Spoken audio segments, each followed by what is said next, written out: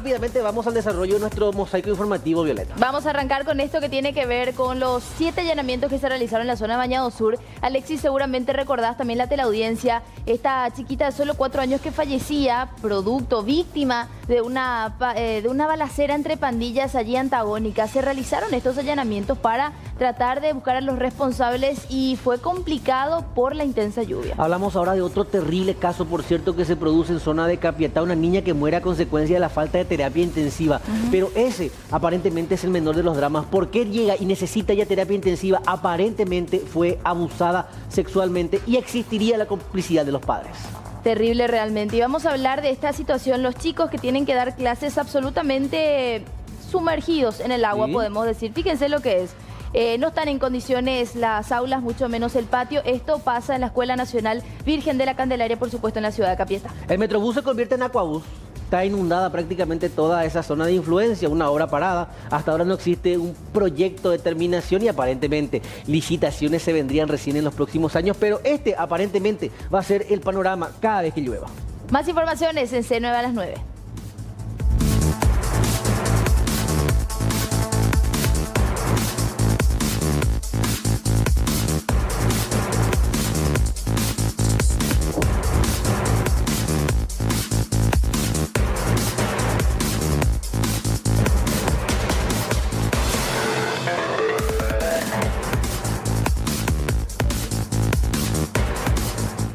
Buenos días a todas, sean bienvenidos a C9 a las 9. Vamos hasta las 12 del mediodía, tenemos muchísima información, muchas recomendaciones para hacerte también, también a vos. Y bueno, tenemos que actualizar los datos del tiempo de la jornada de hoy miércoles, una jornada bastante inestable por lo que ya se pudo estar observando y se puede estar sintiendo también el ambiente, una lluvia que no para y esto justamente es lo que vamos a tener durante esta jornada de miércoles y también para los siguientes días. La mm, mínima, la máxima, la temperatura actual del día de hoy es de 21 grados, eh, la sensación térmica 21.4 grados, la humedad, atención señora, señor, que está bastante alta, del 98%, la visibilidad en un 12 kilómetros y la intensidad del viento que va en dirección al sureste en un 8 kilómetros por hora. Atención que la máxima prevista para el día de hoy es de 29 grados. Y te quiero comentar también a vos, señora, que estás así saliendo de tu casa, que la mañana de hoy vamos a tener una temperatura de 20 a 25 grados. Cálido, cielo mayormente nublado, vientos variables, precipitaciones y ocasionales tormentas eléctricas. Y ya para lo que sería la tarde, las temperaturas estarían entre 29 a 24 grados. Cielo eh, mayormente nublado, vientos variables, luego del sur. Precipitaciones y ocasionales tormentas eléctricas. Así hay que tener muchísima atención, salir precavidos de la casa. Para lo que corresponde ya a la noche las temperaturas estarían entre 24 y 22 grados. Cielo mayormente nublado, vientos variables y precipitaciones. Ahora bien, vamos a actualizar los datos del tiempo ya para el pronóstico extendido. Para el día jueves también vamos a tener una jornada bastante inestable. Una mínima de 21 y una máxima de 29 grados. Y ya para lo que corresponde para el día viernes, tormentas eléctricas, una mínima de 21 y una máxima de 30 grados. Y ya para lo que corresponde para el día sábado, una mínima de 20 y una máxima que llegaría hasta los 29 grados.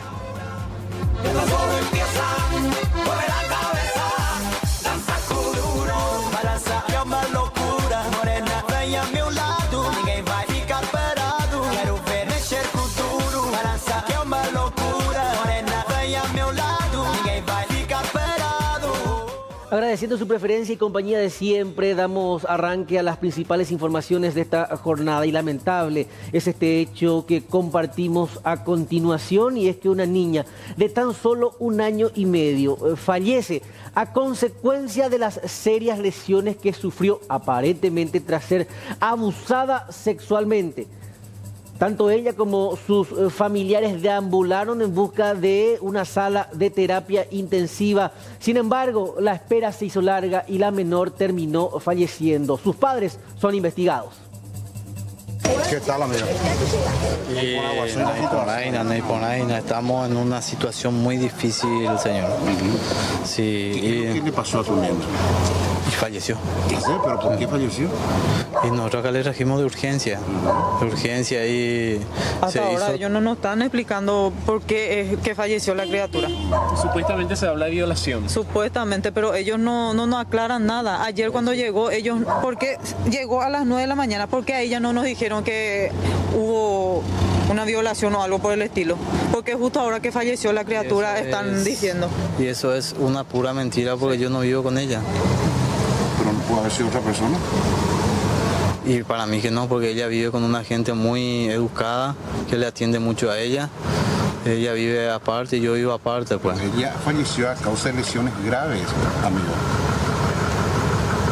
Según el fiscal, las heridas, él en tantos años de ejercicio de la profesión jamás vio algo semejante. O sea, no estamos hablando de una muerte natural. Lo que pasa es que nosotros le llevamos a doctores particulares. A doctores particulares. Y ayer justamente se le aplicó un antibiótico. Y hoy amaneció así. Y ellos le derivaron en, la, en el hospital de la CIMED. Allá supuestamente ya tenían un lugar para ella. Llegaron allá y su- no había lugar para ella. Le tuvieron que traer y por el camino ya falleció. Ya falleció la criatura. ¿Mamá dónde está? La mamá está allá. No, hasta allá va a venir. Eh, sí. Yo estoy, eh, ex- eh, estoy como para colaborar en todo lo que sea necesario, en toda la... está ligado a la Sí. investigación. Sí. Y quiero que se aclare lo más rápido posible porque es mi única hija, mi única hija, se murió de mí. Nosotros no esperábamos que, que suceda esta ¿Cómo te cosa. Fuerza. Sí, mi única, yo, yo soy el más interesado en que se aclare esto, llevarle a mi hija y enterrarle. Yo vine y vengo adentro junto a mi cuñada y le pregunto qué le pasó a la, eh, qué pasó con me dice, ahora le van a poner un antibiótico y van a ver qué tal están y le van a bajar la fiebre. ¿Y cómo ellos no se percataron que ella fue violada? ¿Por qué no hicieron un acta, no llamaron a Coden y ya en ese instante? ¿Por qué lo que a las 5 de la tarde le entubaron y le, man- le mandaron? Pero que se tarde una hora no cambia la situación, señor. Ahora están orientados a eso. Y sí, pero yo me pregunto, ¿cómo vos recibís un paciente, verdad? Y yo toda golpeada, y de aquí a, a cinco horas recién me, me- me hacen un acta que yo fui violentada, no se puede. Bueno, Yo, eh, Esos son datos ya técnicos que... Yo pienso que fue cuando vos le- Mamá, Está por ahí. Lastimosamente arrancamos con este tipo de, de noticias, ¿no es cierto? Una criatura de un año, siete meses, sexo femenino, eh, que entró al hospital el día de, de ayer este, en mal estado general. Es una paciente que ingresó ya con, con un cuadro febril, deshidratada, en mal estado general. Y ante esto se pone el, mecanismo de la urgencia que es más que nada estabilizar a la paciente, no, no importa la edad, en este caso eh, tocó una criatura la- lastimosamente y este, se hizo medidas generales. Dentro de las medidas generales está justamente la estabilización a través de, de lo que disponemos en la urgencia que son generalmente eh, sueros, antibióticos, analgésicos, mientras se busca el origen del por qué ese paciente está descompensado.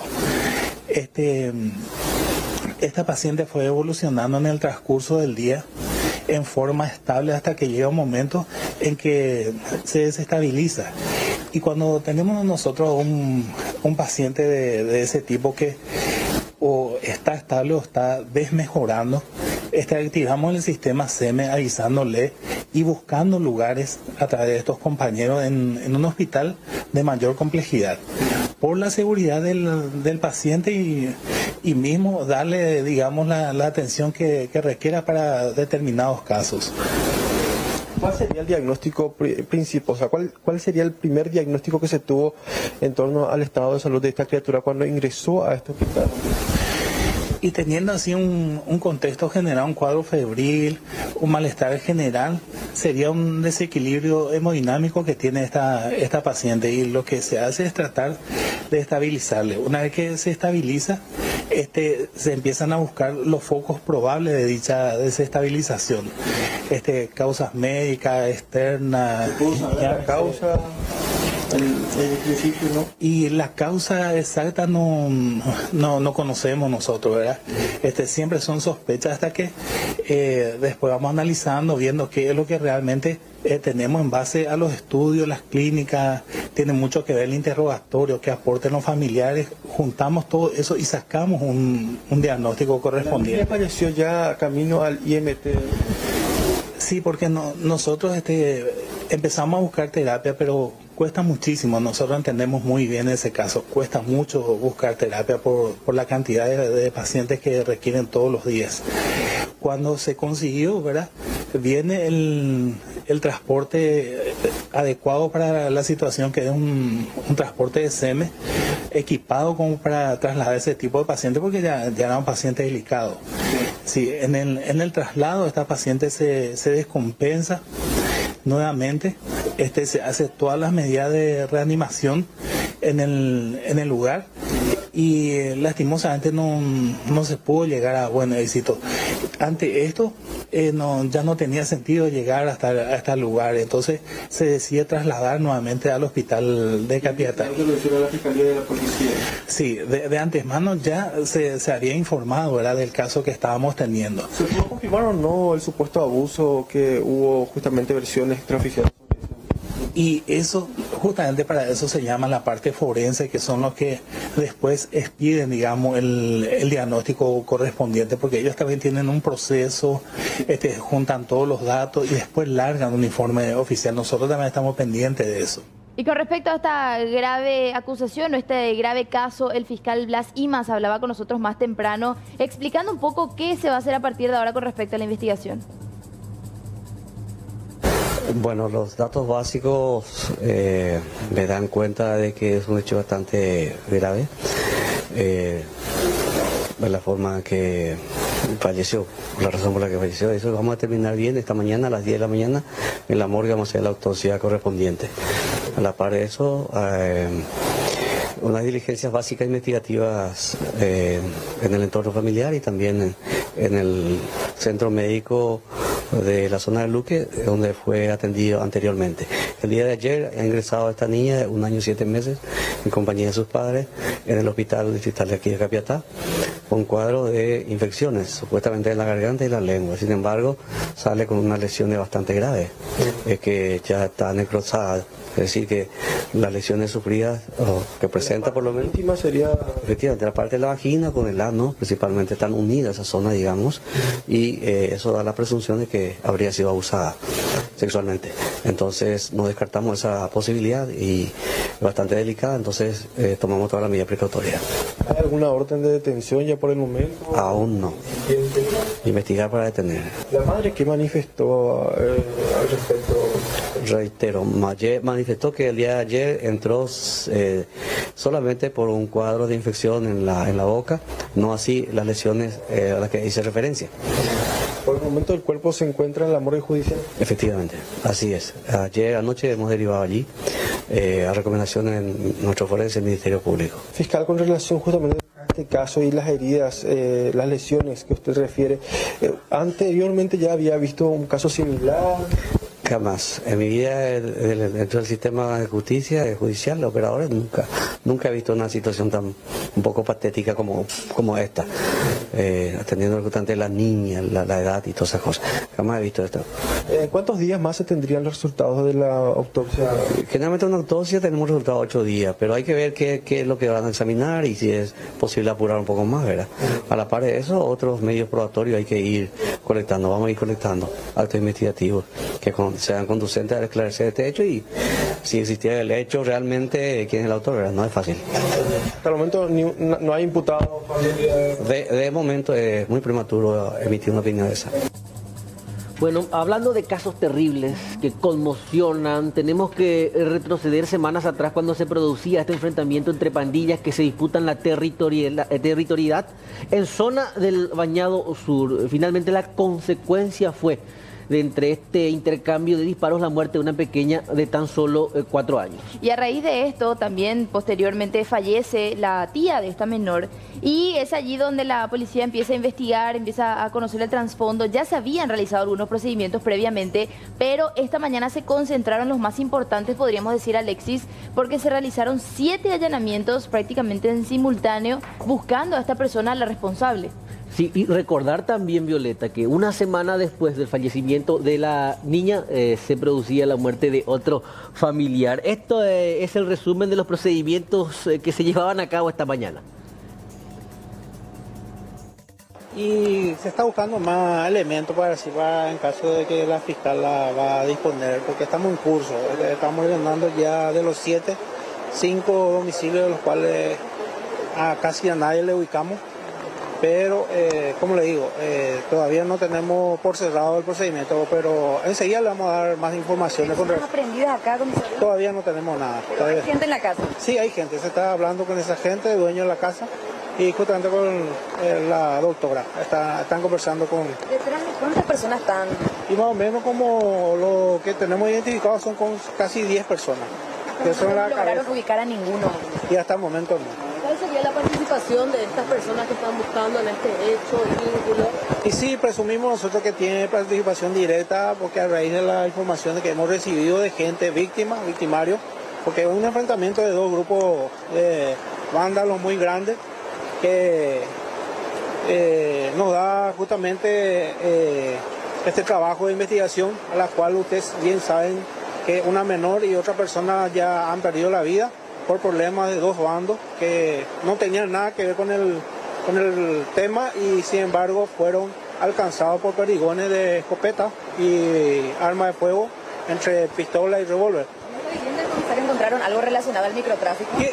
no, no, nada todavía, nada todavía. Se está, se está realizando justamente la, la eh, estamos buscando evidencia para que podamos presentar un elemento importante para que el Ministerio Público pueda avanzar la investigación. Él tuvo una operación y hace fue varias de semanas y ahora como le están llevando un mal procedimiento porque ellos no saben prácticamente lo que está pasando. ¿Verdad? ¿Vos sabés lo que pasó? ¿Qué fue lo que pasó? Ellos dicen que él, él que, le, que le disparó. ¿Vos sos familiar también? Su hermana de Cristian y es injusto el procedimiento de la policía. ¿Saben por qué? Porque hay testigos supuestamente que mi hermano estaba en la balacera. ¿Y cómo va a estar en la balacera él siendo que él tuvo una estocada en el costado, siendo que le rompieron todo el vaso intestino. ¿Y de recibió esa estocada? El 8 de febrero. Imagínate cómo va a ir en una balacera. Antes del enfrentamiento, supuestamente. Antes del enfrentamiento. Y no puede ser justo que ellos hagan esto. Es su trabajo. ¿Tienen eh, los papeles del hospital de la internación de esa fecha? Tenemos todo. Le mostramos inclusive a los policías y dijeron que se le van a llevar al Palacio de Justicia. Y no puede ser esto porque es injusto. ¿Tu hermano tiene antecedentes? No tiene antecedentes. ¿Es menor de edad? Es menor de edad, tiene 16 años. Imagínate. ¿Y, cuál fue el argumento que le dieron del por qué le están aprendiendo? Porque él estaba supuestamente en la balacera. Yo quiero ver quién es el que dice que él estaba en la balacera porque es injusto. Pero lo que pasa es que la mamá de la nena fallecida acusa a todo. Yo tengo una denuncia contra ella que ella hizo un amenazo de muerte. Cuando hubo una balacera, un enfrentamiento, ¿y quién empezó ahí? La mujer. Yo fui cuando eso a denunciar y tengo una denuncia por ella, que es Catherine, Catherine se conocen entre todos. Vos no tenés información de las personas entonces que participaron en la balacera para colaborar y deslindar la responsabilidad la que Nosotros sabíamos, señora, yo sería la primera en decir los nombres para que ese inocente salga de esa patrulla, porque él es... Ninguna identidad. No, ninguna identidad. Es, es importante que hasta por otro mi hermanos están diciendo que él estaba. ¿Y cómo le van a llevar a él? Siento que a él se le clavó recién eso es lo que es injusto. Y ese día mismo que hubo la balacera, vino, se allanó la casa de mi mamá. Mi hermano estaba sentado ahí teniendo una herida de acá hasta acá y esta parte que se le clavó. Y vinieron, la mamá de la abuela de la nena fallecida vino. Y estos son los cuestionamientos, Violeta, por parte de la familia, de la persona que fue detenida, y ellos argumentan de que supuestamente él se encontraba herido, que eh, se trataría inclusive de una persona inocente que nada tiene que ver. Eh, relacionada a- al crimen. Eh, a ver, de por ahí, o, o puede ser también que sea un elemento clave para la investigación, teniendo en cuenta que en aquel momento los testigos hablaban de que esto era meramente una guerra entre pandillas antagónicas que se dedican básicamente a la venta de drogas y al desarme de motos robadas. Ahora, la pregunta que yo me hago, ellos hacen referencia a que él mismo se encontraba herido de cuchillo, ¿verdad? ¿En qué circunstancias se produce la herida? Claro. Bueno, eh, compartimos más notas en este caso de los intervinientes, la fiscal interviniente en este caso, y así también algunos presentes que estaban allí. En torno al suceso de la balacera ocurrido el 23 de febrero, eh, donde falleciera la niña primero y después una persona adulta de sexo femenino. Pero es, es- Bueno, sí.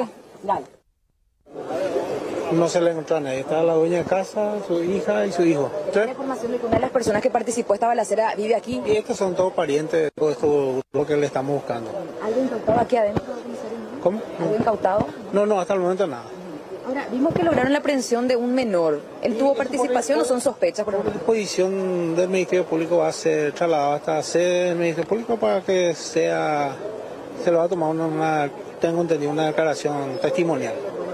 Hay elementos que por ahí lo se indican a él también. Y el Ministerio Público está manejando eso, pero nosotros, la policía, no, no tenemos nada contra él hasta el momento. Quizá los elementos que se incautó en aquel entonces pueda vincularle o desvincularle directamente y de- para ese menester se le está trasladando. Para recapitular nada más, comisario, son siete allanamientos en la jornada, todos aquí en la zona del bañado.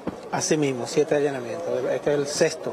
El Faltaría entonces más. Es decir, uno más que presumiblemente ya no realicemos porque va a ser en vano, porque es un lugar que supuestamente ellos también se reúnen, pero ya se envió personal y no hay nada. Una situación en la que se encuentran varias instituciones públicas educativas de nuestro país. Se le suma a esto las condiciones climáticas adversas. Una escuela ubicada en la ciudad de Capiatá, específicamente a la altura del kilómetro 20 de la ruta 1, quedó completamente inundada tras este temporal que se registró en las últimas horas. Finalmente, quienes padecen, quienes sufren de esta situación cuasi catastrófica son los niños y, profesores eh, cada vez que aparece un diluvio como este. La institución tiene por nombre Virgen de la Candelaria. me sentí un poco decepcionada porque hace cuatro años que estoy pidiendo conjuntamente con las ACES el desagüe fluvial correcto. Nosotros con los padres hicimos un pequeño desagüe y con eso igual no nos abastece. Ayer, toda desesperada, tuvimos que acudir inclusive a la policía, a los bomberos, inclusive estuve enviando videos a la supervisora administrativa, a la supervisora pedagógica. La supervisora pedagógica al final me envía eh, diciéndome de que el arquitecto Manolo, que es de la municipalidad, en esta mañana iba a venir a ver el tema del proyecto.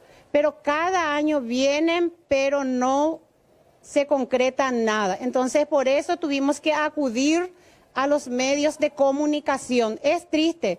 Eh, me da mucha pena que tenga que recurrir a estas instancias, porque en cuatro o cinco años que no nos escuchen es mucho.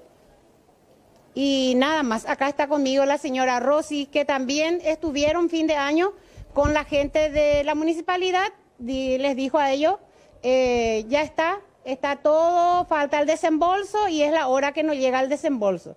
Y impotente, por sobre todas las cosas, impotente, porque si un niño resbala, cae, se rompe la cabeza y le pasa algo, responsable directo va a ser la directora, así mismo. Y la verdad que con, con mucha, con, la otra compañera eh, teníamos limpiadora y vinieron también ellos. Ellos lo que tuvieron más, eh, su trabajo era muy duro ayer. Y nosotros, por- como dijo la directora, eh, que nosotros nos fuimos en la municipalidad y le preguntamos que tuvimos una audiencia con un concejal y le preguntamos a ese concejal por el tema del, del, de- del desagüe y dijo que ya estaba todo, que el desembolso ya está, solamente faltaba eh, firma y ya está. Pero hasta ahora nunca, seguramente no, no, no aparecen ellos. Y yo hace nueve años que estoy acá en la institución como madre, pero este año estoy más de cerca trabajando con las ACE.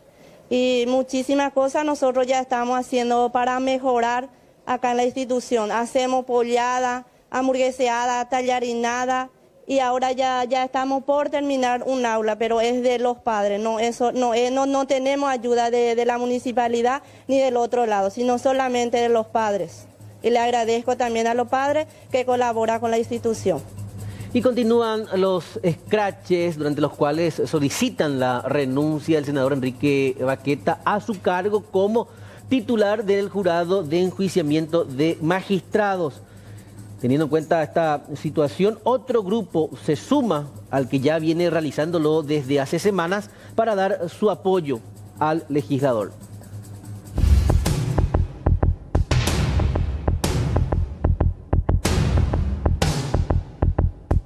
Ciudadanos autoconvocados nuevamente se hicieron cita frente al jurado de enjuiciamiento de magistrados para pedir la renuncia de Enrique Baqueta. En un momento se armó una tensión ya que allegados a Baqueta llegaron a intimar a estos manifestantes. Realmente hubiese sido mejor que le apoyen a Baqueta con carteles alusivos y no intentando difamar a una luchadora social que lleva años luchando justamente y que no le va a milanar un cartel difamatorio. Muy por el contrario, pinta de cuerpo entero quién es Enrique Baqueta y quiénes son la gente que le rodea. Esta lucha no tiene, no tiene nombre, esta lucha no es personal, eso lo hemos aclarado en varias oportunidades. Nosotros nos comprometimos liberar al Paraguay de una justicia carcomida por la corrupción y la injerencia política.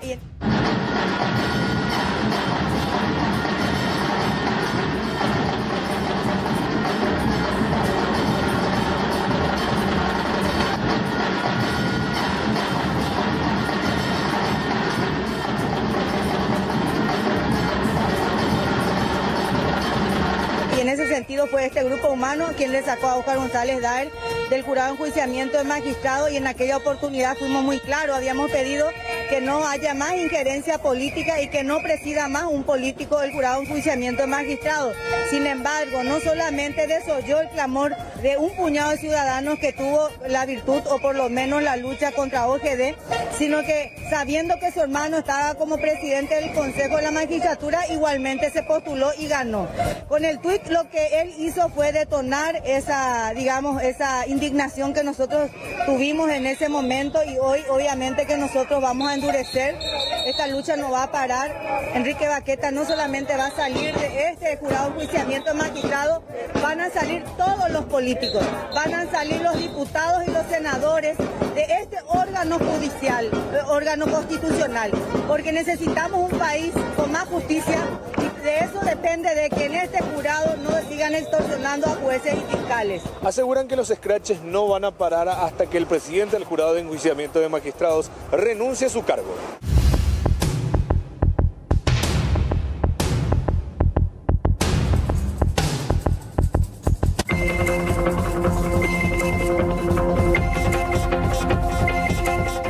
A menor desaparecido. Un joven identificado como Matías Galeano, de 14 años de edad, se encuentra con paradero desconocido. Fue visto por última vez el día de ayer en el barrio Mbocayate de Ñembe. Allanamientos y detención. Una persona quedó detenida tras una serie de allanamientos llevados a cabo en el Bañado Sur en torno a la investigación del doble homicidio ocurrido el pasado 23 de febrero, en el cual resultaron víctimas una menor de 8 años y una joven. Extraña muerte de bebé. Una bebé de un año y medio falleció camino al hospital de Capiatá en busca de terapia intensiva. Según el informe, aparentemente la pequeña presentaba rastros de haber sido abusada sexualmente. El fiscal de la causa ordenó la autopsia para identificar la causa de su muerte. Seguirán las lluvias. La Dirección Nacional de Meteorología anuncia que las lluvias y ocasionales tormentas eléctricas seguirán hasta el domingo. Se prevé un ambiente cálido y vientos del sector suroeste. Tormenta fatal en Sao Paulo. Al menos 12 personas perdieron la vida a causa del fuerte temporal que azota la región brasileña. Se registran múltiples derrumbes y un centenar de árboles caídos. Además, las inundaciones han bloqueado varias vías de acceso amargo empate. Con el gol de Alejandro Silva, Olimpia empató 1 a 1 a Universidad de Concepción en su segundo juego por la Copa Libertadores.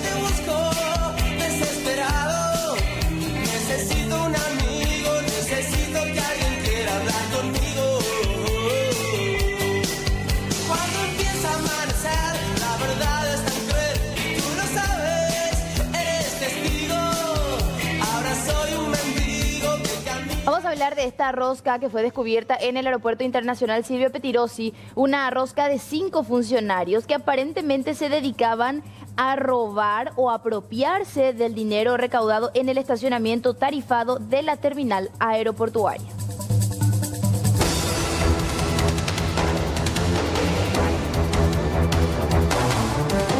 Cámaras de seguridad del aeropuerto Silvio Petirosi muestran a funcionarios infragante apropiándose del dinero recaudado en el estacionamiento tarifado. A tal efecto, la DINAC, al descubrirlos, denunció a la Fiscalía. La primera denuncia fue presentada el pasado 8 de febrero, en tanto que la segunda el 18 del mismo mes. En el primer video muestra cómo la cajera se lleva un fajo de billetes dentro de su ropa interior y la otra simulando limpiarse la nariz y colocando el papel desechable en su caja levanta los billetes y se los mete al bolsillo.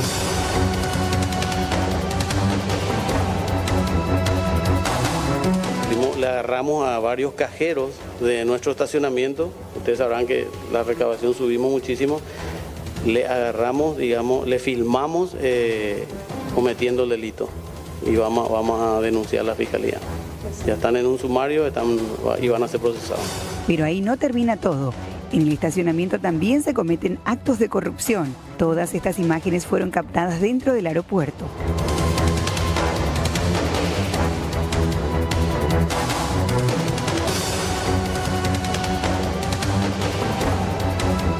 Los cinco funcionarios fueron desvinculados de la DINAC y están sujetos al proceso investigativo. Es un trabajo arduo, eh, hay muchas, muchos grupos delictivos involucrados y están empotrados acá dentro de la institución eh, y es un trabajo que estamos realizando eh, con muchas dificultades a veces, pero estamos realizando. Desde la institución aseguran que serán implacables para desbaratar esquemas de corrupción existentes desde administraciones anteriores, aplicando sanciones a todos los involucrados.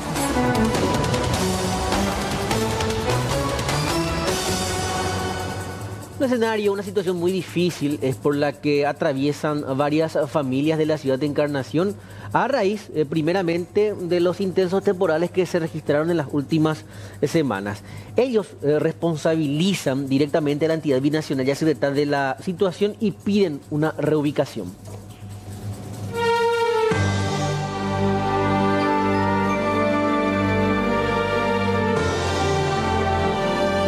Con cada lluvia la situación se vuelve extremadamente difícil para estas familias, que deben soportar inundaciones. Ellas responsabilizan a la entidad binacional Yacyretá. Dicen que son afectadas y que deben ser reubicadas. Esperan que las autoridades ejecuten las acciones pertinentes. La vivienda, por sobre todas las cosas, que hay demasiado mucha vivienda vacía que se está demandelando. Entonces, eh, es, muy importante que la entidad binacional ya se, se le dé a esta persona que tanto necesita, están en el agua, en el barro y que están totalmente enfermas.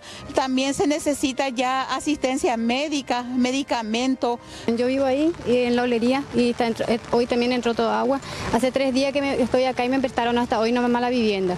Que cuando se seca otra vez quiere que vuelva, pero yo no puedo más volver porque se seca y llueve y llueve y entra otra vez agua. Entonces ahora estoy usando la vivienda y estoy queriendo también para mí mi vivienda porque siempre cada que llueve estoy pasando la misma situación que ahora. ¿Nunca fueron ubicados? No, nunca. Yo hace 10 años que estoy viviendo ahí siempre la misma situación. Las autoridades de la entidad binacional Yacenetá realizaron promesas a estas familias que lamentablemente hasta ahora no se cumplieron. Hablar ahora de la historia de don Jorge Paredes. Él fue condenado a 10 años de prisión y compurgó 7 en total.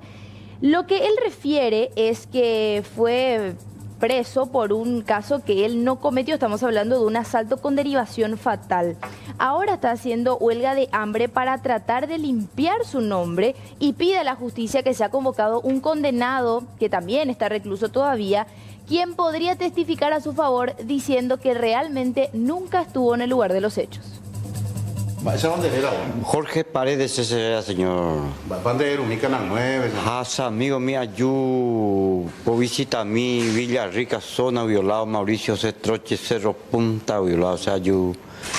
Las motivo la seguridad, señor Mario Bracho, sea esa vende me ayudo mi la seguía la justicia, o sea, hombre, usted de inviscribir esa historia, se aretereís cárcel, ve injusto, se ajapea, está la no vía se se valle, veja, la sella ven y tu pago, veja, y chiste, vea, causa, ajapea, yo, hay postala, se valle, guacuyo, hoy cuá, que la, injusto, se hay me la cárcel, veja, la causa, la se, hay me la upea hoy y la olla la hecho ya por hoy la cárcel del señor Mario Blacho la ia mamo hoy me habe la que cena hija abuela upea caso ve ahí me a la cárcel ve ha cuando este día vi año pero pena Ya pues la huelga hambre la hay me tiempo en la cárcel ve ayer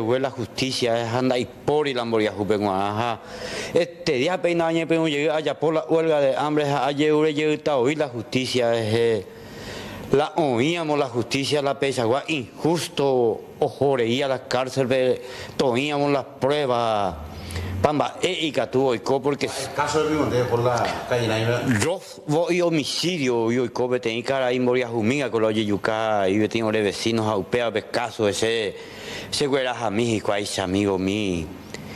Pea la da creí que si hay la peisa y te la injusticia o si tija.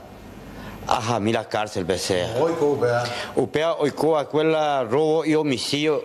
Eh, 12 líneas y tan plastón, zona que agua sube, pero con aquella robo y homicidio. Tienes que calcular la de la highway.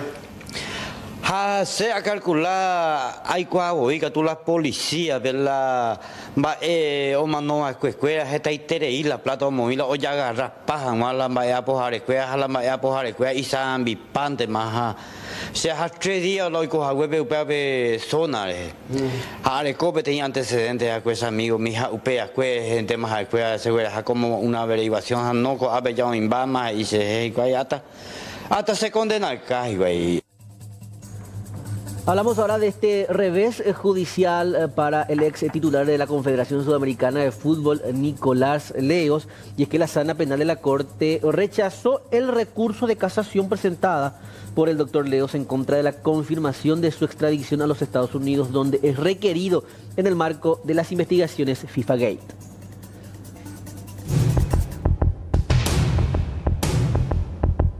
La Sala Penal de la Corte Suprema de Justicia rechazó el pedido de recurso de casación presentado por la defensa de Nicolás Leos, quien es requerido por la justicia de los Estados Unidos. Eh, el caso de Nicolás Leos eh, se agotó ahora una discusión que es en la Sala Penal eh, nosotros aún tenemos instalada la discusión en la sala constitucional a través de una acción de inconstitucionalidad y esperemos que esa decisión eh, salga, no sea favorable y en caso que no sea favorable, en realidad tampoco se va a rechazar la extradición, sino lo que va a ocurrir va a ser que se va a anular y se va a remitir a los tribunales inferiores para que vuelvan a tratar el asunto. Así que eh, todavía falta que se decida eh, en la sala constitucional, eso por un lado.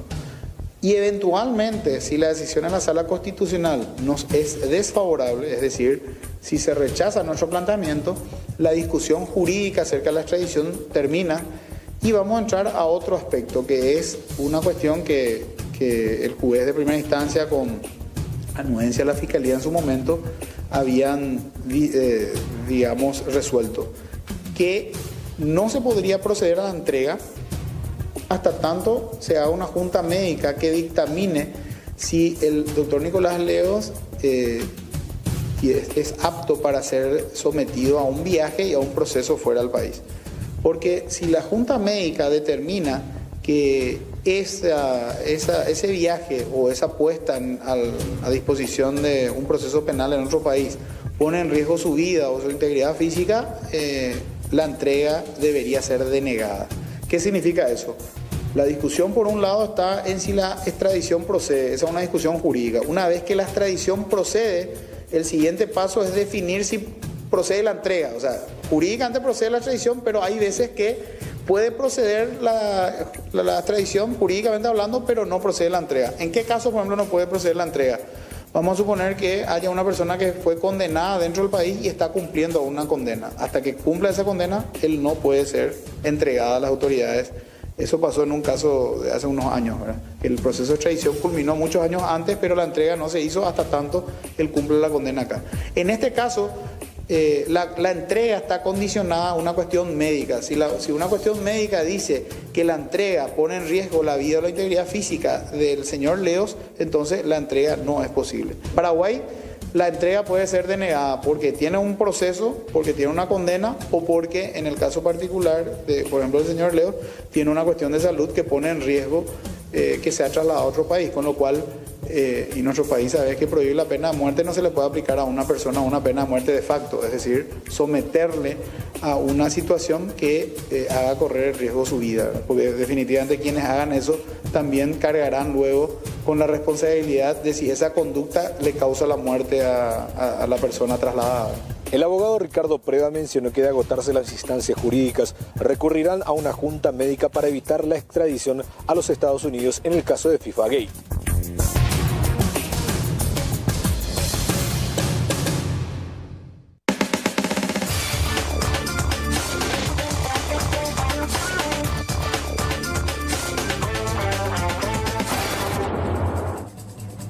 En vivo y en directo hasta nuestra compañera Leila Jiménez. Le está dando seguimiento a un caso y ya ya nos cuenta bien de qué se trata. Adelante, Leila.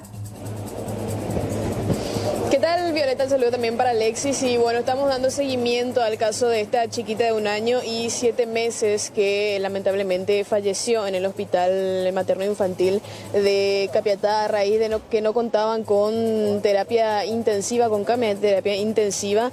Y bueno, el cuerpo de la chiquita fue trasladado hasta aquí, hasta la morgue judicial, donde ya la fiscalía investiga la muerte de esta menor porque según la inspección preliminar que se le realizó, en el materno infantil de Capiatá, el forense se percató de que la chiquita contaba con varias lesiones en la zona genital, por lo que se presume que bueno, esta menor habría sido eh, abusada, pero sin embargo esta versión u otras que también ya se están manejando va a ser confirmado en eh, unos minutos nada más suponemos porque eh, según lo que nos informaban a las 10 de la mañana iba a salir el médico forense Pablo Lemir a dar ya el informe acerca del caso y bueno, confirmar si realmente la chiquita falleció a causa de una infección por abuso sexual o si esto también eh, se pudo tratar de otra causa. Veíamos hace unos minutos nada más que ingresaban varias personas, suponemos que son los familiares de la menor, así que es lo que estamos esperando también de alguna manera aquí frente a la morgue judicial.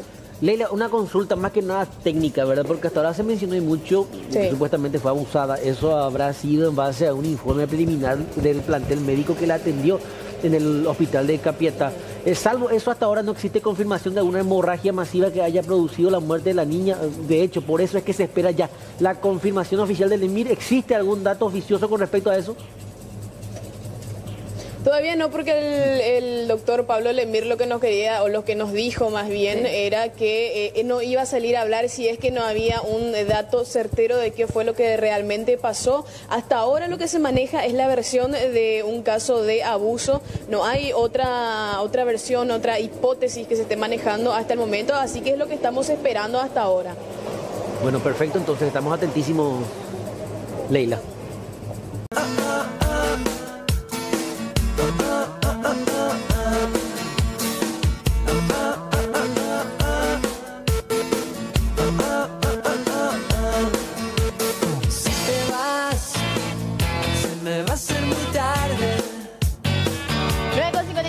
Mañana, 21 grados. Se siente este otoño que está por llegar ya. Una mañana sumamente gris, nublada, con lluvia, fresca, húmeda, ere, erea.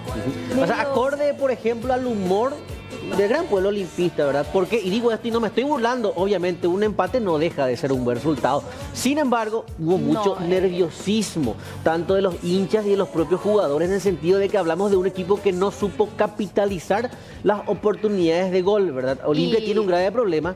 No está despegando la Copa Libertadores y aparentemente no está encontrando el gol. Un problema por el cual también estaba atravesando eh, Cerro Porteño. El tema ese de llegar a traspasar la valla del Y no era, lo que se, rival. no era lo que se esperaba, teniendo en cuenta que eh, Olimpia está viviendo un buen momento en el torneo de apertura. Pero bueno, vos también podés comunicarte con nosotros, 0972655000. Nosotros vamos ya al desarrollo de este partido, Alexis, que, bueno, decíamos, terminó en empate, no era lo que se esperaba.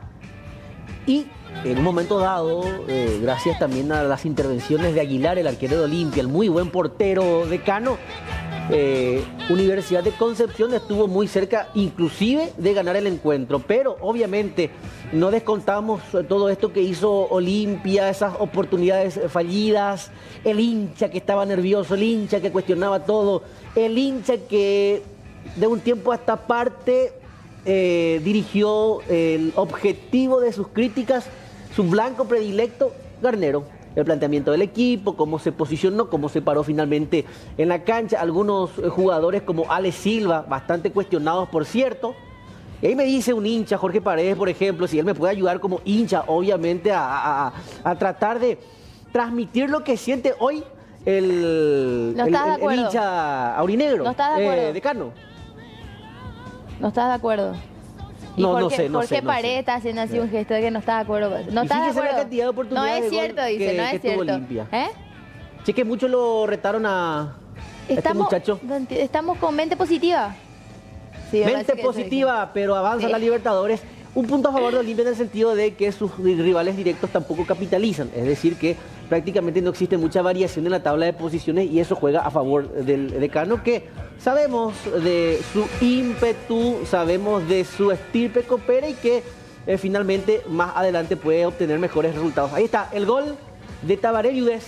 Tabaré Viudez entonces festejaba de esta manera el gol olimpista estallaba el estadio de los defensores del Chaco, que no estuvo repleto, por cierto, ¿verdad? Si bien Gradería Sur y otros sectores eh, finalmente presentaba un marco imponente de público, uno esperaba un lleno total en los defensores del Chaco. Y se había cuestionado además el tema ese del precio de las entradas. Estaban caras las entradas, Jorge, ¿no? Muy caras.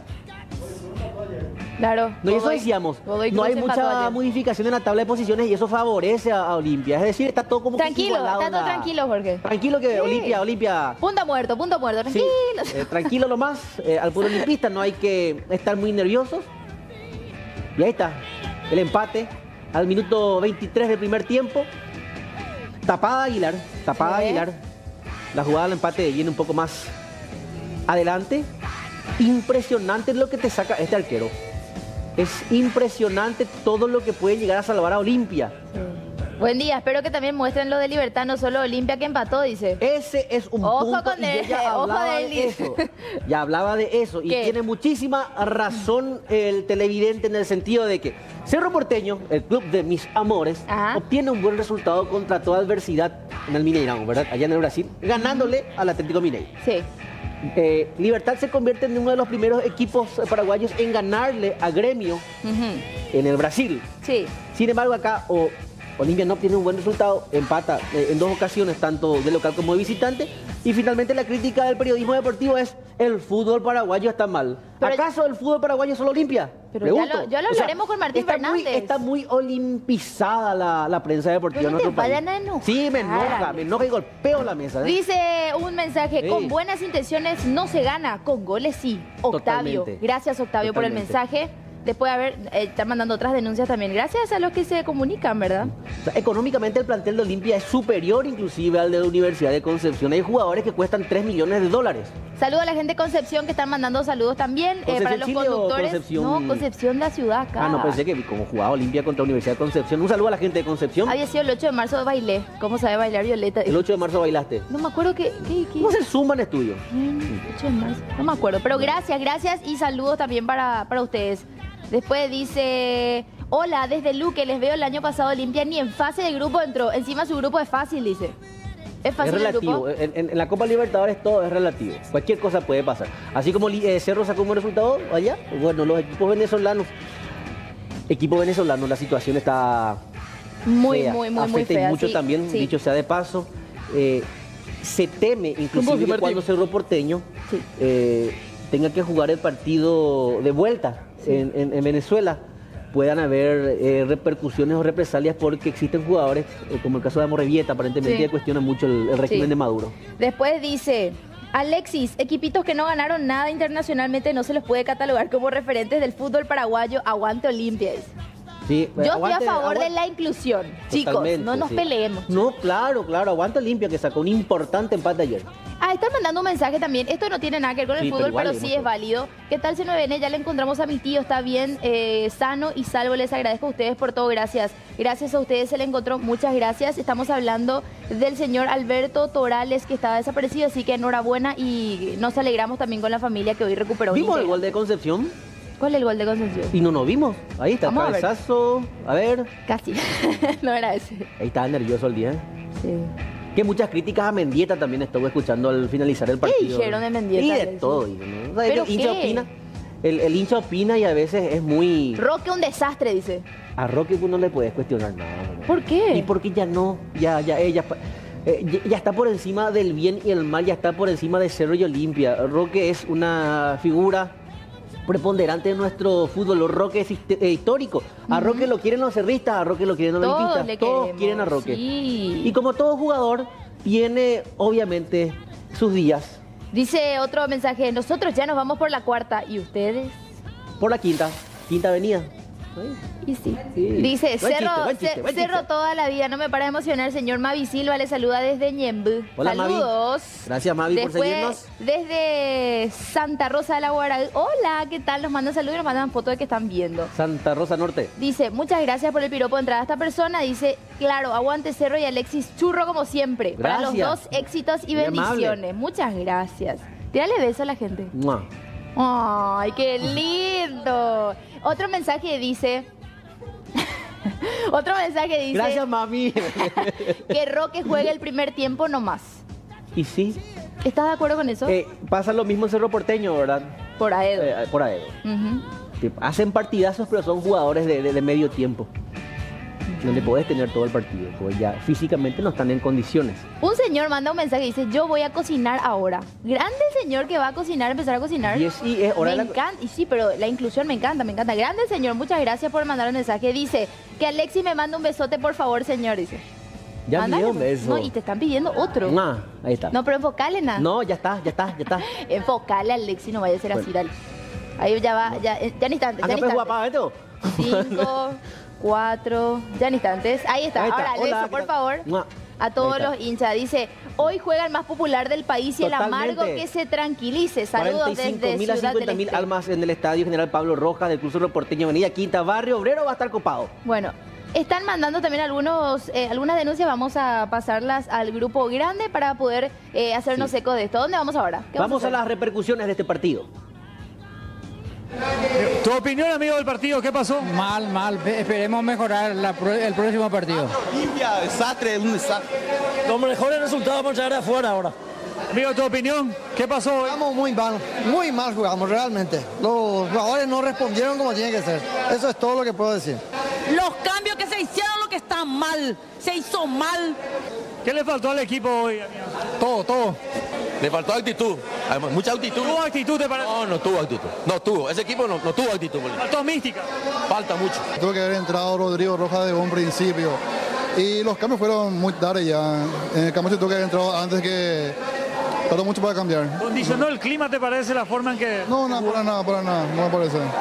Yo creo que Garnero se equivocó en jugar eh, como si fuera que jugaba de visitante. Tiene que meter delantero. Nosotros tenemos que atacar. Nosotros tenemos que ganar el de local. Yo creo que Garnero fue el culpable acá, no los jugadores. Todo le faltó, todo le faltó. No sé, Garnero no quiere hacer los cambios. Creo que especula demasiado.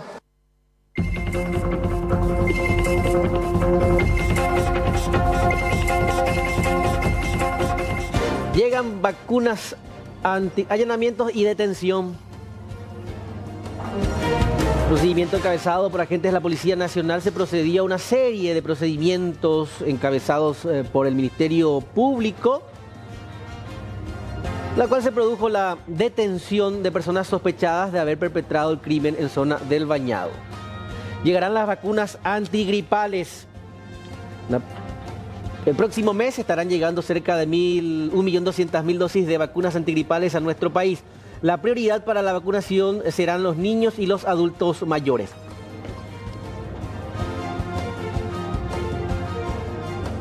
Escuela Bajo Agua, la escuela virgen de la Candelaria ubicada en la ciudad de Capiatá, quedó totalmente inundada a raíz de las fuertes lluvias, por lo que es imposible desarrollar clases en días de temporales. La institución necesita con mucha urgencia de la ayuda de las autoridades. Buscan a menor desaparecido, un joven identificado como Matías Galeano, de 14 años de edad. Se encuentra con paradero desconocido. Fue visto por última vez el día de ayer en el barrio Bocayatú de Ñembú.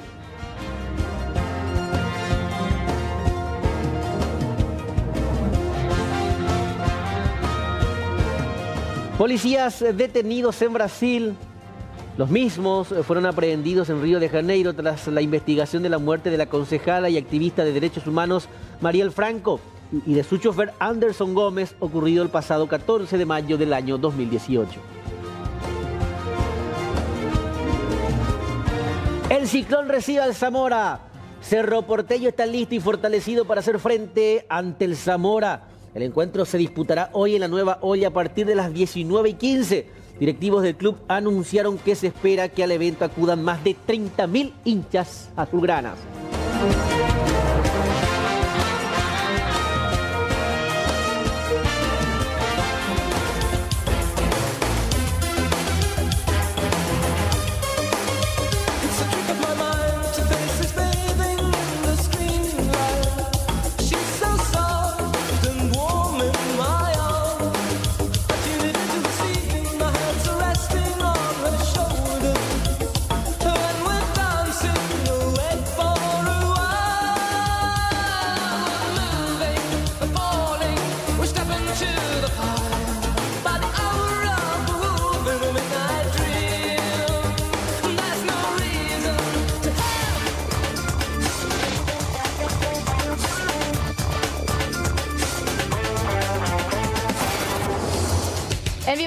Hasta la Fiscalía de Hernandarias. Irán Navarrete, ¿cómo te va? Buen día.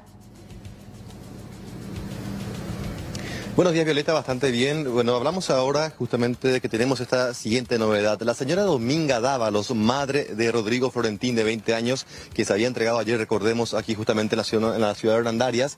Ella se encuentra ahora con su hijo menor de edad, de 17 años, dentro de la unidad fiscal del, el- justamente del agente Alfredo Acosta Ey, para la declaración correspondiente en torno al caso del doble homicidio de su pareja sentimental, Osvaldo, en este caso González, como también su hermano Nelson González. Aún no sabemos si ella está declarando realmente, aportando algunos datos a la investigación, o si se estuvo a declarar, pero todo se lleva justamente a puertas cerradas aquí en la Fiscalía Hernandarias, inclusive con guardias privados, eh, custodios que están con ella, están con ellas para justamente darle la seguridad correspondiente, ya que este caso es bastante, pero bastante, eh, digamos, emblemático aquí en la zona este del país. Que ella sigue adentro actualmente en la unidad fiscal eh, de, del agente Alfredo Acosta Ey, y en cuanto salga de esta unidad nosotros vamos a tratar de dialogar con ella para saber si quiere justamente acceder a algunos, algunas, algunos, digamos, algunas versiones, o en este caso la versión de ella oficial de lo que ocurrió ese día cuando su hijo Rodrigo Florentín tuvo que asesinar, según él, en en defensa propia,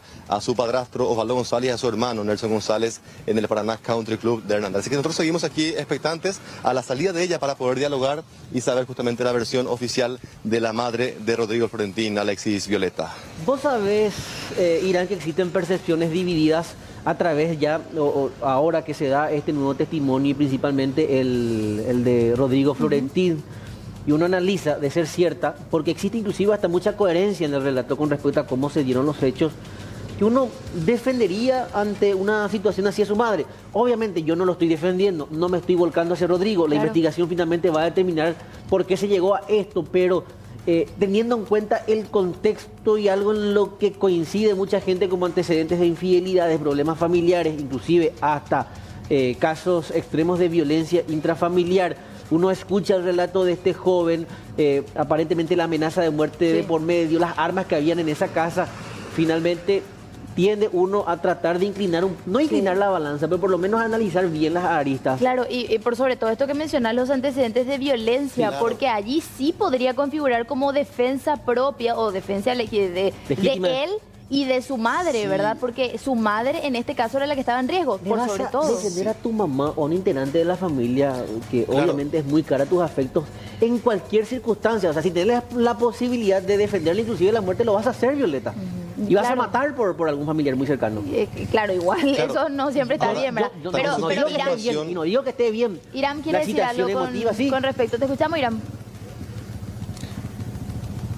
Sí, no, justamente yo les iba a decir que hace minutos nada más estuve ya con Amalia, una hora atrás, hablando con el subjefe de investigaciones, el comisario Benito García, que nos comentaba que ayer también Rodrigo entregó, entregó tres armas de fuego cuando Ajá. se entregó a la policía, dos 9 milímetros y uno de calibre 380, que son aparentemente propiedades eh, o eran de Nelson y Osvaldo González. Es decir, también decía el comisario de que aparentemente eh, Osvaldo y Nelson habrían también disparado sus armas de fuego. Es decir, si esto se confirma con la prueba de nitrito nitrato que se le hizo a ambas personas fallecidas, esto también se eh, daría un giro en la investigación. Como también surge lo siguiente, de que la señora Dominga Dávalos aparentemente un día antes descubrió a Osvaldo González en un acto de infidelidad e incluso llegó a grabar un video para dejar constancia de cuando él estaba dentro de una piscina con otra mujer. Y ese mismo día aparentemente ella fue eh, según informaciones que tenemos nosotros, brutalmente golpeada por Osvaldo González porque justamente ella salió de la casa y fue llevada por Rodrigo justamente hasta otro sitio para dormir esa noche. Y el día miércoles regresa a mediodía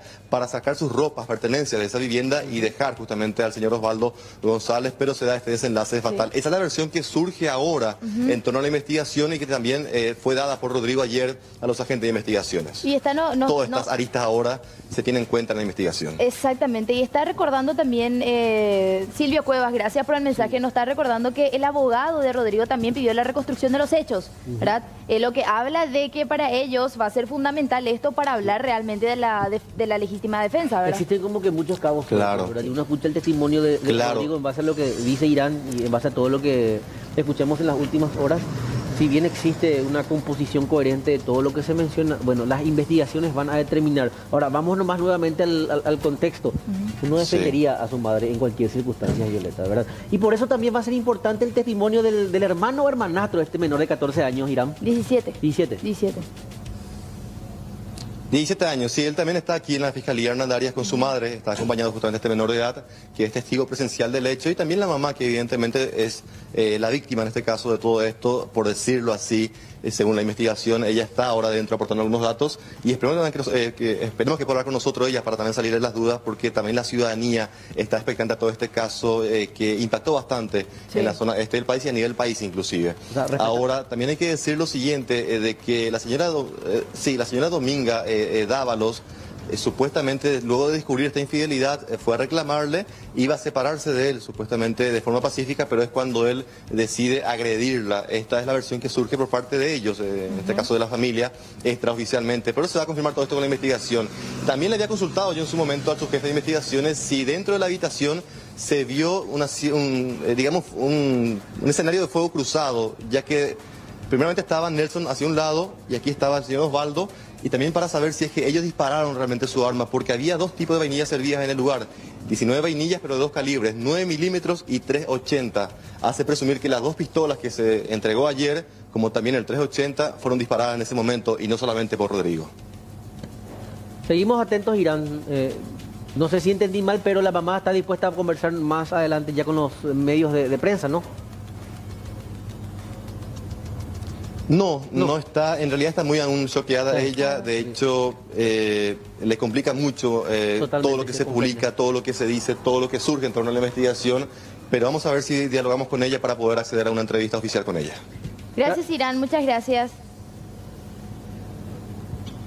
A las órdenes, cuando gusten.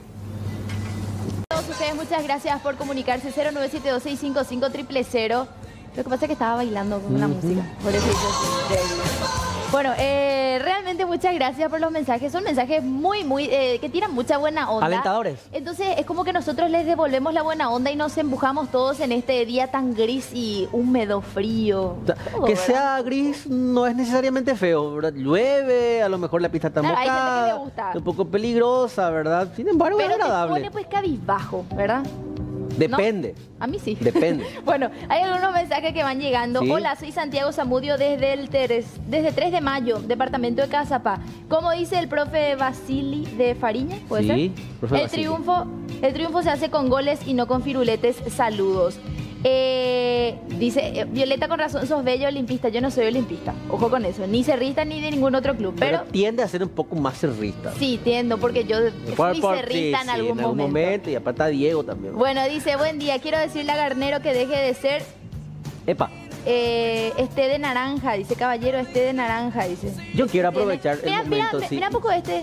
para saludar al gran pueblo liberteño, Ah, Rafa sí. Gunset, uno de los pocos liberteños de este país, así que muchísimas felicidades por el gran triunfo obtenido ayer en Ojo, Porto Alegre. porque se están, nos, nos están reclamando. ¿Por qué ¿Qué? no hablamos de libertad? Acá Vamos está, a hablar, Martín gran liberteño Fernández Rafa está el expresidente. Horacio Cartes y otros que otros colegas, algunos que otros Pimpollo, por ejemplo, liberteños, Cristian Franco, dos, tres, cuatro, contados con los dedos, pero muchas felicidades. Volviendo al punto, Martín Fernández ya viene en instantes con lo que tiene que ver con libertad. Mandan también acá la conformación ideal de Olimpia.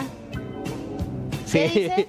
No, ¿Qué que? Olimpia está acostumbrado a jugar con 12, ayer jugó con 12, se Ah. refiere a los árbitros. Bueno, le sumamos las líneas, Rafa, ahí. Sí.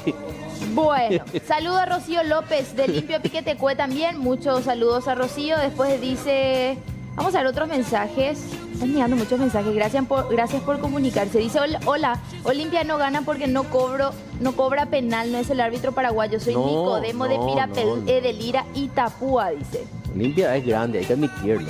No gana porque está atravesando por un mal momento futbolístico, no está plasmando en el campo de juego. Ah, bueno, están reclamando porque todos vienen y entran nomás acá al estudio, ¿verdad?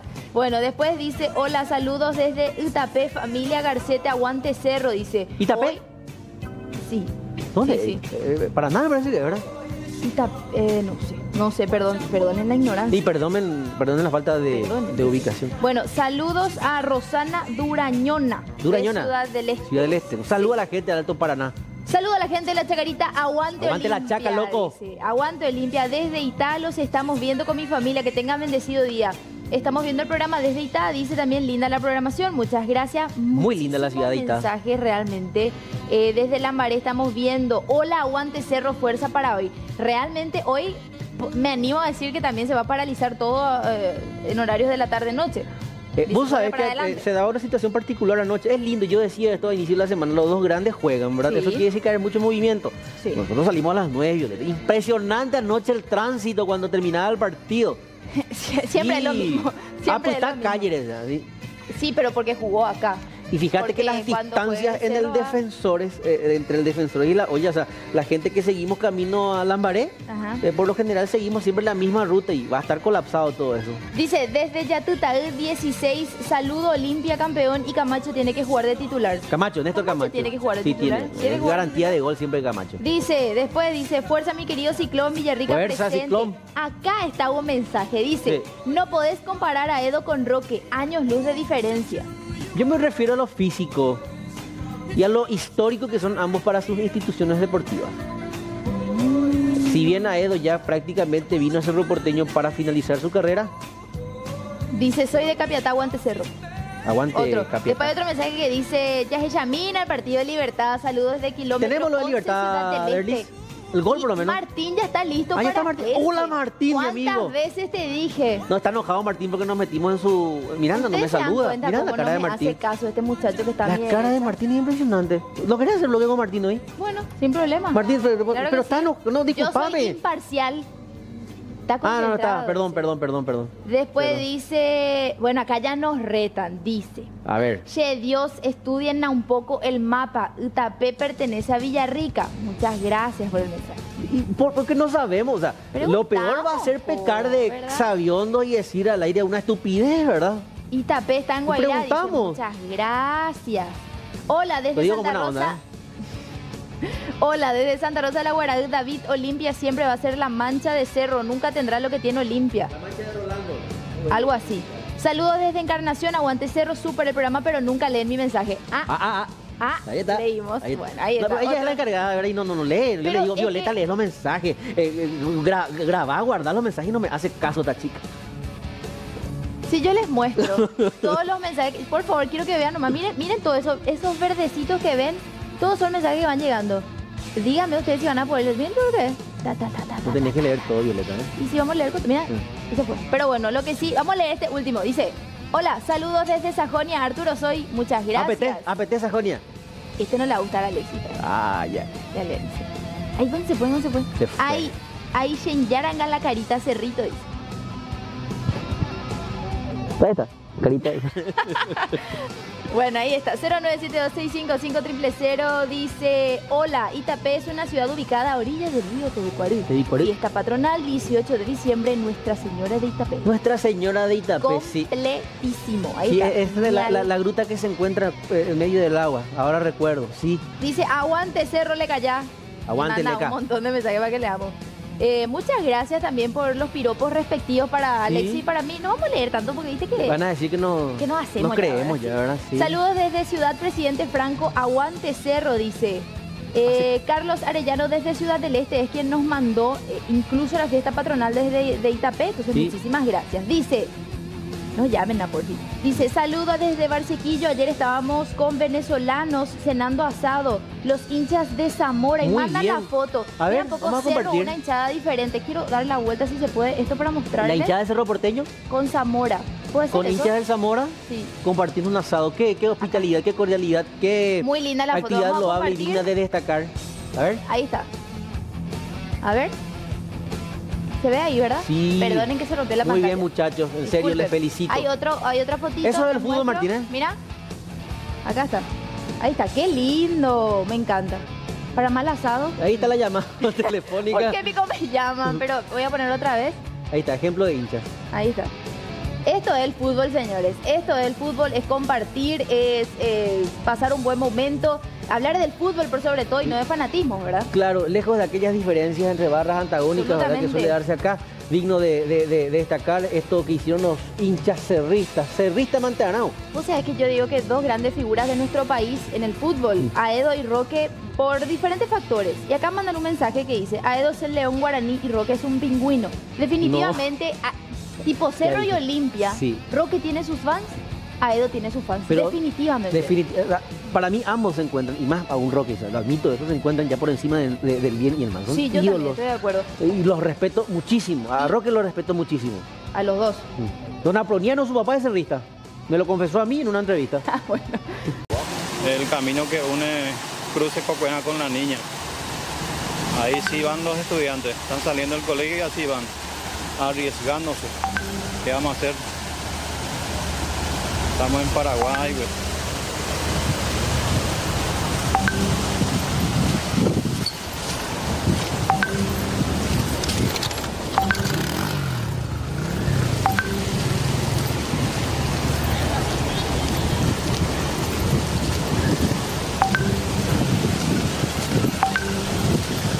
Quiero mostrarles nomás cómo está la casa de mi papá. Así está. Sí, está inundado totalmente.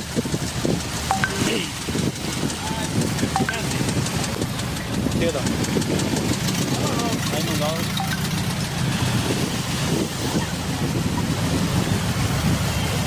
Inundadísimo está. No se puede ver. Está.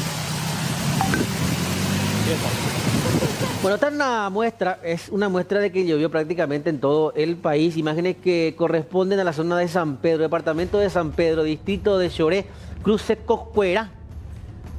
Aparentemente se formó un cauce, pareciera ser eh, un caudaloso arroyo de esos que recorren el interior del país. Sin embargo, eh, tampoco es uno que eh, se haya alterado en su camino. Más bien es agua acumulada que empezó a correr y avanzó hacia las casas.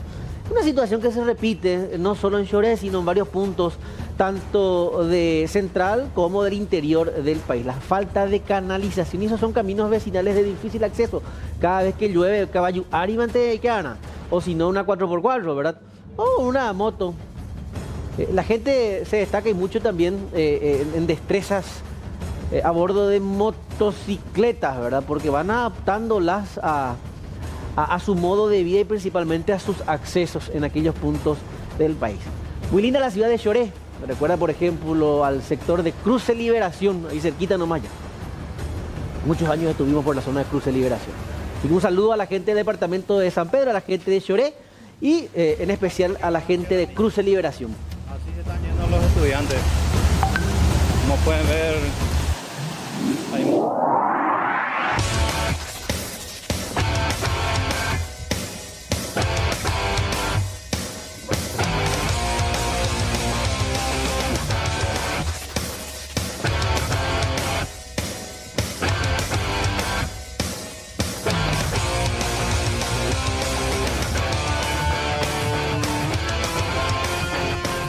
Deportes Martín, libertad. Orden. Buenos días, querido Alexis Fabián, Violeta, Analiza, a todos. En este bloque de deportes vamos a empezar hablando con el pedido de la gente, porque la gente hace también este bloque, quieren ver imágenes de libertad. Ustedes lo pidieron, ustedes lo quisieron. Vamos a ver este histórico triunfo del Gumarelo en el Arena do Grêmio, donde el Guma nunca había ganado. Arena do Grêmio. No me salió muy bien, pero bueno, algo así, lo, pero es así la pronunciación, más o menos. Los relatores brasileños lo dicen mejor.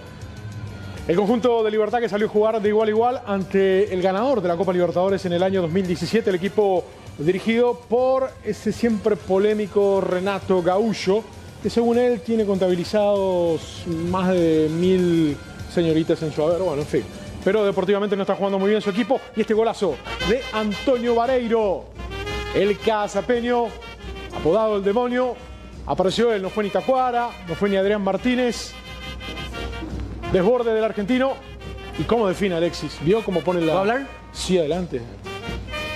Partidazo Libertad. Se Pero ponga- bien en la cancha. Póngale onda, póngale No, vehemencia, no, es por que es un favor. bloque, la gente puede decir que no lo dejo hablar. Perfecto. Póngale efecto de radio, mi querido Alexis que- Yo le voy a hacer el comentario. Co- comentario intermedio en C9 a las 9 de Alexis Fabián, presentado por XX. Adelante. Como diría el profe Benicio Martínez, eh, Libertad hizo lo que el manual establece. Primeramente, atacó, se plantó bien de media cancha para arriba, la defensa impecable como siempre. Eh, se destacó un jugador del que a lo mejor no se esperaba mucho el gol, uno lo esperaba de Tacuara o de otro delantero, finalmente lo hace el Tony. Bien por Libertad, bien por los equipos paraguayos que fueron de visitante a ganar. Y bien, porque de alguna u otra manera se demuestra que no está mal el fútbol paraguayo. ¿Sabes por qué digo esto, señor Martín Fernández? Porque sus colegas, los periodistas deportivos, cuando a Olimpia le va mal, dice que prácticamente todo el, to- todo, el fútbol paraguayo está mal. Los Cerros sacan una victoria en el Mineirão. Eh, libertad en el gremio, eh, en Porto Alegre ante el gremio, uno de los campeones de campeones. Sí, sí, sí. sí. Alex, ahí. Olimpia empata contra Godoy y Baemo. Y acá contra Universidad de Iquique, Concepción. Mira ahí su cámara, ¿eh? es el comentario de Alexis Aveiro. Alexis Fabián. Y para ustedes, los periodistas deportivos, el fútbol paraguayo está mal. Cuando no se juega con 12, aparentemente está mal el fútbol paraguayo. Está generalizando. eh.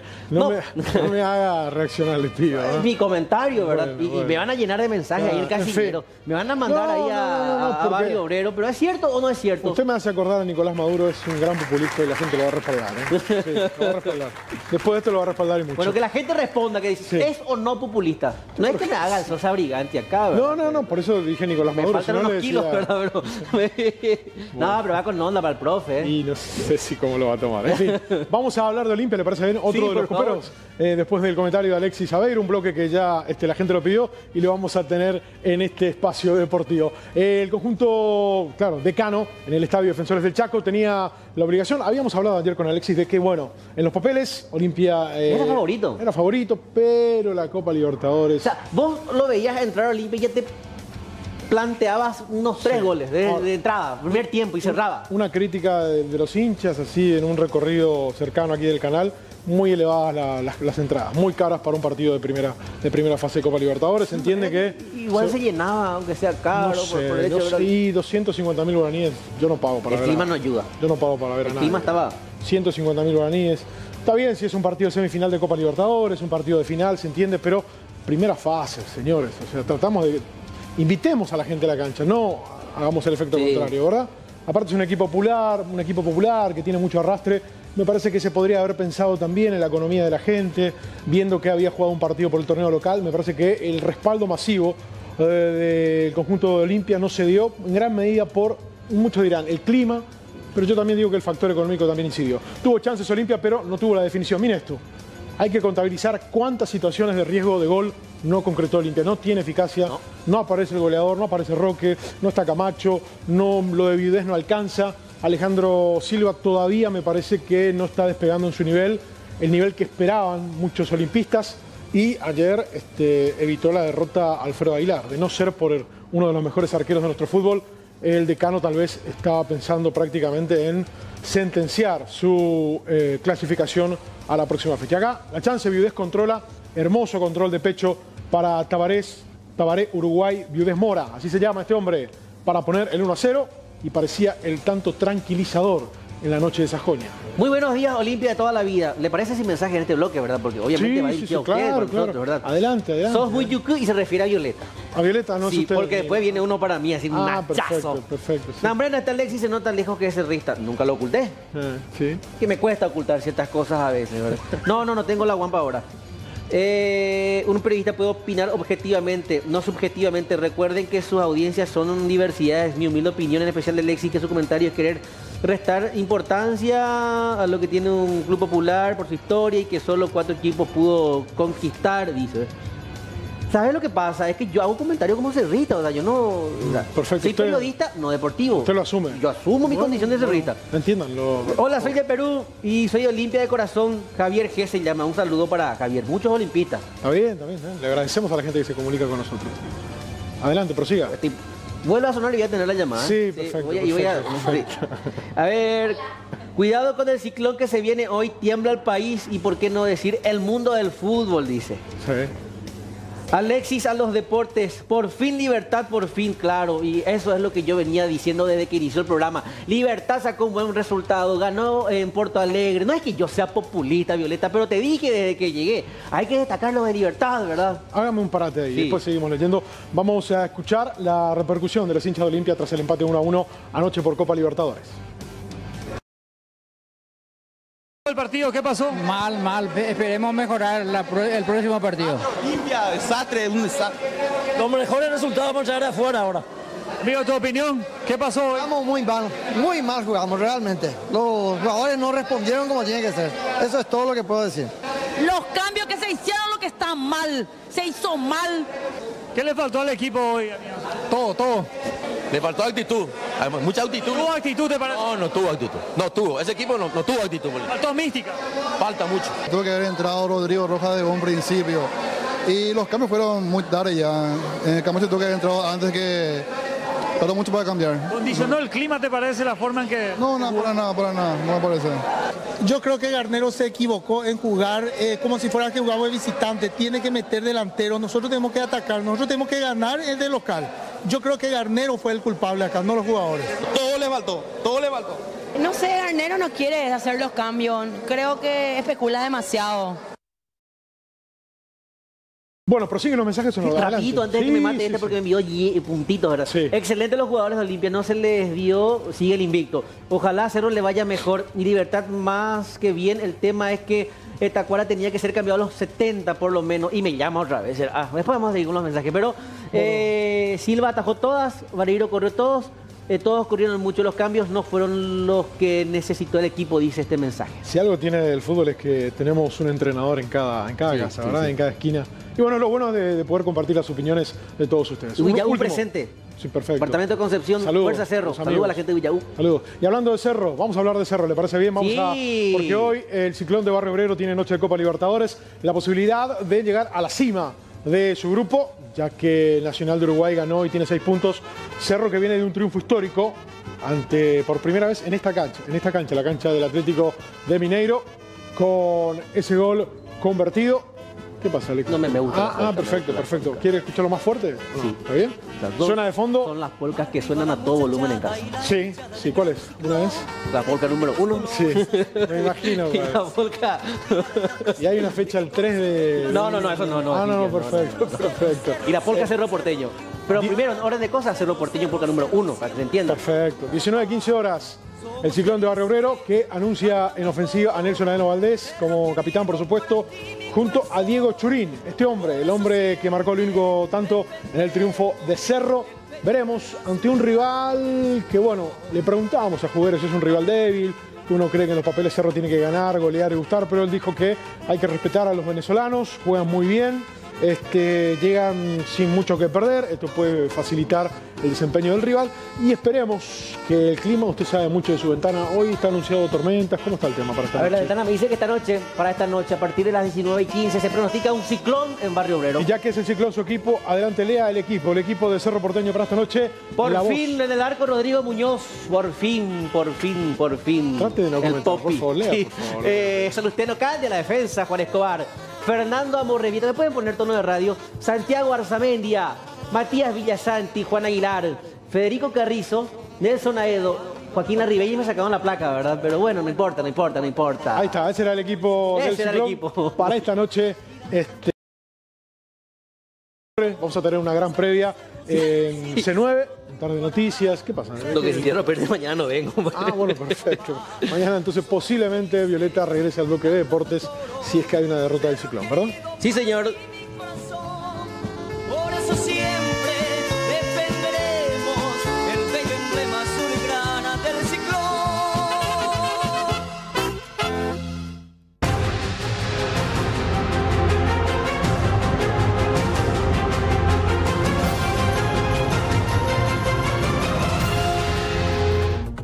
Paréntesis informativo, vamos rápidamente hasta Judith Colexa, un balance de todos estos allanamientos que se dieron esta mañana. Exactamente, Alexis. Saludos para Violeta y la teleaudiencia. Aquí el comisario Marcelino Espinosa nos va a dar un resumen acerca de estos procedimientos llevados a cabo en esta mañana en prosecución a este enfrentamiento a tiros que se produjo el 23 de febrero pasado en la zona de Bañado Sur, donde resultó víctima fatal una pequeña de 8 años y posteriormente su tía, quien también fue herida de un balazo. Comisario, finalmente se logra la aprehensión, pero solamente una persona, si bien estábamos en la búsqueda de 10 en total. Sí, este grupo po- podemos decir que son 10 los que son cabeza, o 4 por cada bando, de las cuales ya 3 están detenidos. El mismo día la Policía Nacional, en una redada, conjuntamente de la Comisaría 24 Metropolitana con la octava, lograron aprender a 3 más 3 que se fueron al hospital y después posteriormente el Ministerio Público eh, ordenó también su aprehensión. A raíz de todo ese procedimiento, eh, personal de este departamento se abocó a conversar con la gente eh, buena del lugar que trabaja cada día para ganar su pan y nos manifestaron quiénes serían las cabezas de este grupo. Los reconocen plenamente. Los rec- eh, son reconocidos plenamente porque son gente que se fueron a aportar su testimonio al Ministerio Público. De ahí nosotros solicitamos al Ministerio Público la orden de captura por Luis Carlos Ríos, el hermano Juliano, Alcide Galeano y su hermano Arsenio. Cuatro personas que principalmente están siendo buscadas. Principalmente está siendo buscada con orden de captura, que son gente que están eh, luchando supuestamente por un territorio en la zona, porque hay dos bandos bien definidos que continuamente están eh, enfrentándose y a raíz de ese enfrentamiento, un menor, o sea que una menor perdió la vida a raíz de que recibió un perdigón de bala eh, eh, porque estaba en, el- en la línea de- del enfrentamiento de estos, estos bandos. Ahora, en la casa de esta menor estaba también una de las personas que se enfrentó con el otro bando. No, no podemos decir que estaba, pero que sí se quiso guarecer del otro grupo.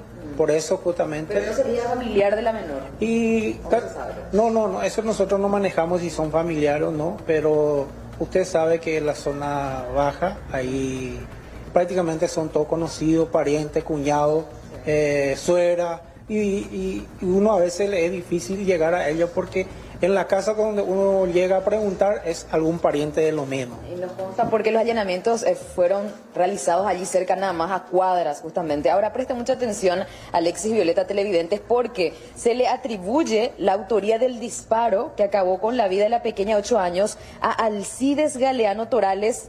¿Cuántos años tiene él, comisario? ¿No se maneja? No, no, no, es un joven de 23 años. De 23 años, ¿eh? Porque ella se dictó orden de captura, así como también Luis Carlos Ríos de Rosa, Juliano Ríos de Rosa, que sería su hermano, y otro que sería hermano de Alcides. Entre ellos se enfrentaron, entre esa familia fue, comisario. Nosotros son del mismo bando. Del mismo del bando. Eh, el otro grupo no manejamos nombre, pero tenemos varios nombres de menores. Ahora, la aprehensión que se dio en la jornada fue la de este menor de 17 años, quien se encuentra aquí. Eh, esto porque lo dispuso la fiscal del caso que estuvo acompañando todo este eh, procedimiento. ¿Hay elementos en contra de este menor, comisario? Y estamos sosteniendo que, según su testimonio, que él pueda dar al Ministerio Público, que va a ser en estos momentos, en minutos, va a ser trasladado para ser, eh, para dar una declaración testimonial. De ahí depende lo que él diga ahí para que su suerte se queda o se va. Bueno, y para que ustedes puedan entender por qué se da la aprehensión de este menor de 17 años, compañeros, él formaría parte de la barra del Bajo. eh, una barra brava aparentemente, de dónde salieron estas personas que aparentemente ocasionaron este enfrentamiento. Tenemos una entrevista con él, si por ahí la producción tiene a punto para compartir con ustedes también.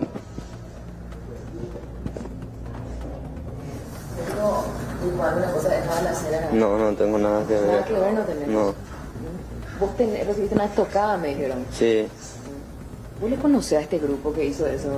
no, no le conozco. ¿No sabes? No, No. ni de qué trata el problema. No, no sé. ¿Vos no sabes por qué te detienen a vos? No, ¿No te explicaron? Pero te enteraste lo que ocurrió con esta nena de 8 años en la zona, ¿verdad? sí, me entero. ¿No te conocías a los autores? Sí, le conozco. ¿Todavía ¿Tenían problemas ellos con otras personas, no? Sí, tenía algo. ¿Qué tipo de problema era según Alejandro? No sé qué problema, bro. Pero tiene que ver con las drogas en la zona. No sé la droga de qué. ¿No sabías por qué era esa rivalidad? No, no. Ese día del enfrentamiento, ¿vos escuchaste algo, tuviste o pasaste por ahí? No, no sé nada. ¿No? No, no sé. ¿Y vos por qué recibiste una estocada? No sé, mi amigo. ¿Eh? Mi amigo lo que falló. ¿Tu amigo te estocó? No, mi amigo lo que falló, el tipo ahí me clavó. Ah, o sea que a vos te agarró por accidente. Sí, ¿Vos sos la barra de cerro? ¿Formás parte de alguna barra o no? sí. ¿De cuál? ¿Mm? Contanos, no, para saber. No quiero contar nada. Barra del Bajo, sería. Así se le llama, ¿verdad? Ellos serían los que hicieron esto, eh, se enfrentaron. Ya nos encontramos acá en el partido policial. Tras culminar Bueno, en definitiva son que se realizaron la jornada todos en la zona del Bañado Sur, en prosecución a este caso, que por cierto acompañamos desde un principio, donde lastimosamente se dio la muerte de esta pequeña de 8 años y posteriormente de su tía de 23 años. Vamos a ver porque recordemos que ya se había dado dos aprehensiones muy importantes a estas dos personas, a las cuales incluso se les sometió la prueba de mano, o dermotest, como quieran llamarle, y la prueba dio positivo, comisario, ¿no? Sí, en ese momento la gente criminalística, eh, a través de su de la cinta que tomó de la mano de estos dos sujetos que fueron aprendidos el mismo día del hecho, dio un positivo. Por lo tanto, quedaban eh, automáticamente eh, quedaron imputados por el Ministerio Público. O sea que participaron en la gresca y efectuaron disparos de armas de fuego. Tres personas hasta el momento están aprendidas. Sí, tres, o sea que seis hay en total, tres en ese momento y tres que eh, eran, se quedaron heridos, que posteriormente colaboraron mucho en su testimonio al Ministerio Público y nos reservamos su situación en estos momentos. Seis y falta la captura de cuatro. Cuatro sí son los principales, que son las cabezas, que son mayores de edad, pero con la banda más o menos son 20 personas, que son la mayoría son menores de edad, de 15, 16 y como este sujeto que fue aprendido el día de la fecha, 17 años. Perfecto. Gracias, comisario, por esta información. Gracias a usted. Volvemos a estudios. Ahí. Judith, muchi- muchísimas gracias por este contacto completito, el reporte entonces eh, acerca de esta serie de allanamientos que se produjeron en la zona del Bañado Sur, la detención de ahora ya el principal sospechoso de este crimen. Gracias, Judith. A 20, 20 horas aproximadamente, el grupo Lince que estaban haciendo una patrulla de rutina por el lugar, visualizan una motocicleta en actitud sospechosa, al cual intentan detener, ¿verdad? Y el cual, al notar la presencia, eh, se da una precipitada fuga. Posteriormente lo, lo alcanzan, eh, lo detienen, lo bajan en la moto, tratan de identificarlo. Este sujeto tenía un arma blanca de- entre la cintura, el cual quita y trata de, lastimar a estos agentes, los cuales tuvieron que usar la fuerza y lo, lo esposaron. Eh, luego lo catearon y encontraron eh, eh, drogas eh, 11 gramos aproximadamente, cigarrillo, eh, marihuana y así un, un paquetito blanco que posiblemente sea cocaína, ahora no, ya eso escapa a mí. Y después a eso ya el arma, un, un puñal, un puñal de 22 centímetros aproximadamente, manifiesta, con el cual intentó atacarles. Posterior eh, llaman, piden apoyo a la comisaría, a esta comisaría, a la comisaría 28, yendo un personal, una patrullera con dos personales para trasladar a este, a este sujeto.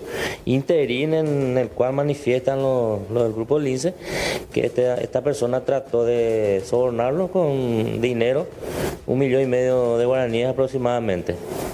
Sí. Y posterior se le trasladó hasta la comisaría y se hizo el procedimiento como corresponde. Una figura de soborno, entonces. Así mismo, y varias figuras, eh, incautación motocicleta por exposición, eh, tenencia de arma blanca, resistencia, eh, violación de ley de droga y soborno. Comisario, ¿la identidad de esta persona? Sería Sebastián Javier Palacios, paraguayo, de 24 años de edad, domiciliado en Colonia Juan de Salazar, Ciudad del Limpio. Él ya tenía problemas con la justicia. Sí, tiene antecedentes por hurto del año 2018. Bueno, que llegó a entrar ya a, a prisión. Sí, así mismo ya llegó a cumplir una pequeña condena. Desde su calabozo, aquí en la comisaría 28 Moracue, el joven negó cualquier intención de sobornar a los agentes y dijo que en realidad son estos quienes quisieron apropiarse de su dinero. En su defensa dijo que tenía consigo la marihuana que usaba de manera medicinal. Me agarraron de balde, amigo, o sea, sin, sin que ni para qué, me agarraron. ¿Vos, vos que te vos, vos vivís por ahí, verdad? Sí, yo sé la zona, yo sé la zona. Yo estaba estacionado, hablando con un amigo de la zona. ¿En tu moto? Sí, señor. La moto, ellos llegaron y ahí me acorralaron. Realmente no, yo no, no lo he visto, ¿viste? Algo. Pero dicen que supuestamente tenía un puñal con vos, ¿verdad? No, nunca. ¿Qué puñal? Porque supuestamente encontraron un, un petardo con vos también. ¿Petardo? ¿Qué petardo? Marihuana. ¿Marihuana? Puede ser, puede ser que sí, puede ser que no. Un fino, un fino, no, no, nada. Para, ¿Vos le fumaron? O sea, ¿tenías con vos? Parece que es mi billetera. ¿Tu billetera? Parece. Y eso lo encontraron vos. Y sí. ¿Qué pasó? Mandé para mi remedio, ¿verdad? Para mi rodilla. Ah, tengo todo dolor así, ¿verdad? Ellos querían mi plata. Tenía plata en mi billetera. No. No me pidieron, pero querían mi plata. O sea, que vos decís que por eso más hizo procedimiento. Hace tan solo un par de semanas, este joven logró salir de la cárcel de Tacumbú luego de compurgar su pena. Sin embargo, el mismo, ante este problema con la justicia, nuevamente volverá a prisión.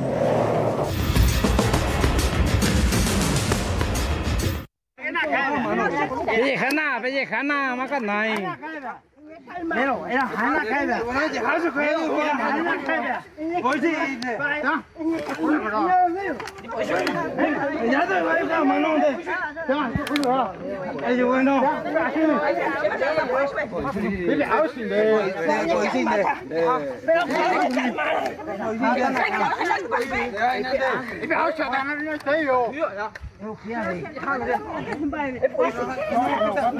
我还没看到这？Hãy subscribe cho kênh Ghiền Mì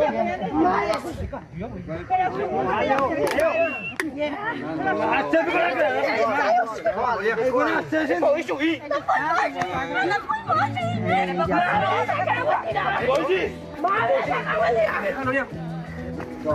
video hấp dẫn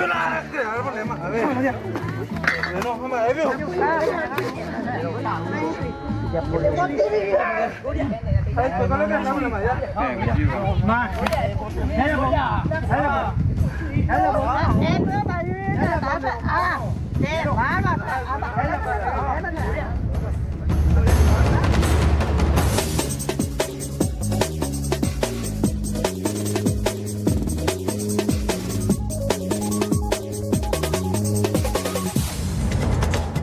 10 con 59 minutos de la mañana y tenemos que hablar de esta noticia internacional. Hace instante nada más se daba a conocer esta masacre que ocurrió justamente en Brasil. Masacre en una escuela de Brasil. Murieron cinco niños y un adulto y dos atacantes se habrían suicidado. Sucedió en la escuela estadual Raúl Brasil de San Pablo. La policía asegura que los asesinos también serían adolescentes, donde hay más de nueve heridos. Esta noticia justamente está en desarrollo y lo que dice es, el tiroteo se produjo poco después de las 9 y 10 de la mañana. Las primeras informaciones apuntan a que un ex alumno habría atacado la escuela. Después se disparó contra varias personas. El atentado causó caos y pánico. Los estudiantes salieron y corrieron para refugiarse en las tiendas cercanas a la escuela. Esto es justamente lo que está sucediendo a estas horas en Brasil.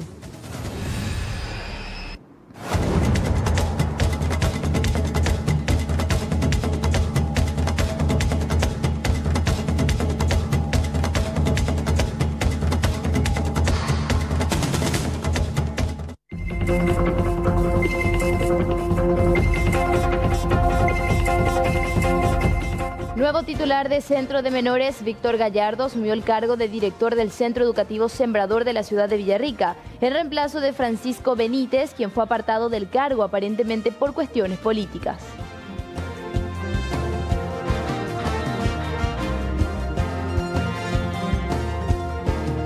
Allanamientos y detención. Una persona quedó detenida tras una serie de allanamientos llevados a cabo en el Bañado Sur, en torno a la investigación del doble homicidio ocurrido el pasado 23 de febrero, en la cual resultaron víctimas una menor de 8 años y una joven.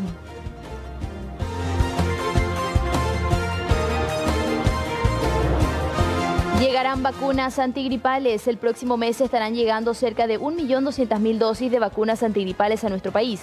La prioridad para la vacunación serán los niños y los adultos mayores.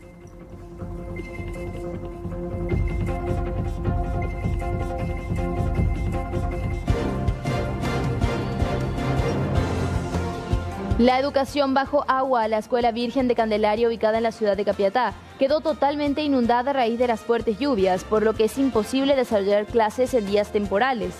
En días de temporales, la institución necesita con mucha urgencia de la ayuda de las autoridades. Atrapados tras derrumbe de escuela, más de 100 niños quedaron atrapados entre los escombros luego de que una escuela de tres pisos se derrumbara en Nigeria. Socorristas se encuentran rescatando a los alumnos. Se teme que haya víctimas fatales.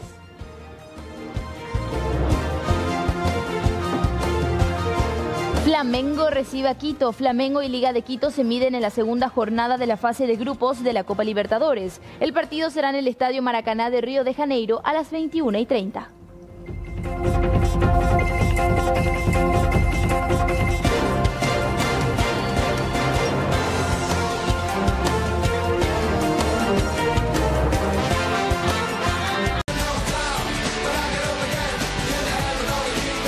abogado Ricardo Preda, asesor legal de Javier Zacarías Irún, hizo referencia a esta imputación del proceso judicial por el cual está atravesando su defendido. Dice que desconoce algunas aristas de esta nueva imputación, expresó que aún no accedieron a la carpeta y eh, resaltó que Zacarías no puede ser detenido porque eh, aún tiene fueros como senador.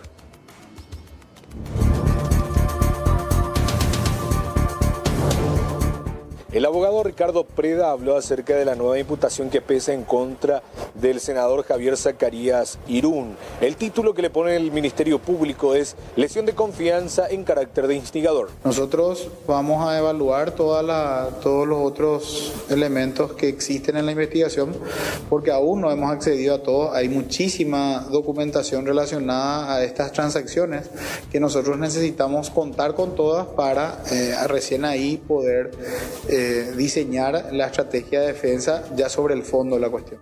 En este caso, la imputación presentada el día de ayer es por instigación a la lesión de confianza a, a personas que ya estaban imputadas. eh, bueno, ahora eh, se le agrega la intervención supuestamente del senador Zacarías Irún como un instigador. Es decir, aquella persona que supuestamente convenció a las otras a que realicen un hecho lesivo para el patrimonio de la Municipalidad de Ciudad del Este. Lo que a nosotros nos queda hasta ahora, la cuestión es que debería principiar el análisis por si hay un acto lesivo y creo que eso es lo que la Fiscalía dijo que ahora recién iba a profundizar. No, el, el- el desafuero en la causa por declaración falsa no tiene ninguna consecuencia en esta.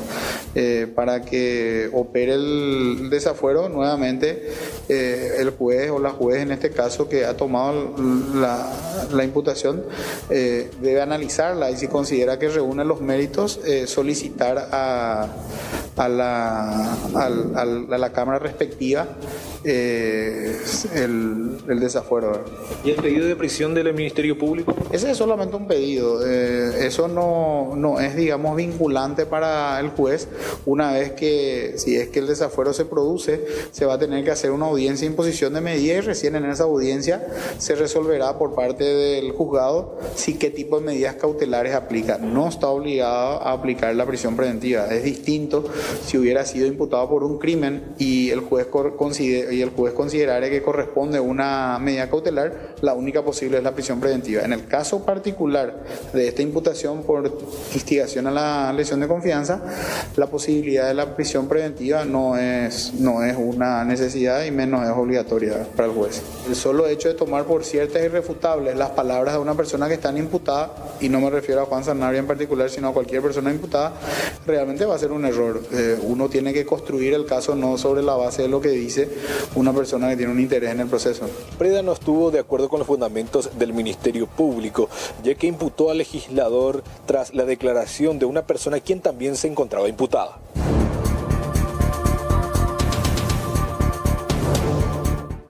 Vamos a hablar de un particular detenido en la comisaría 21, porque ustedes van a escuchar esto y seguramente les va a llamar la atención. Este hombre tenía una especie de privilegio. Hay que decir que él es un recluso de Tacumbu. Lo cierto es que aparentemente podría, podía salir de vez en cuando y en una de sus salidas cometió un asalto, por lo que quedó nuevamente detenido y será devuelto a la penitenciaría de Tacumbu.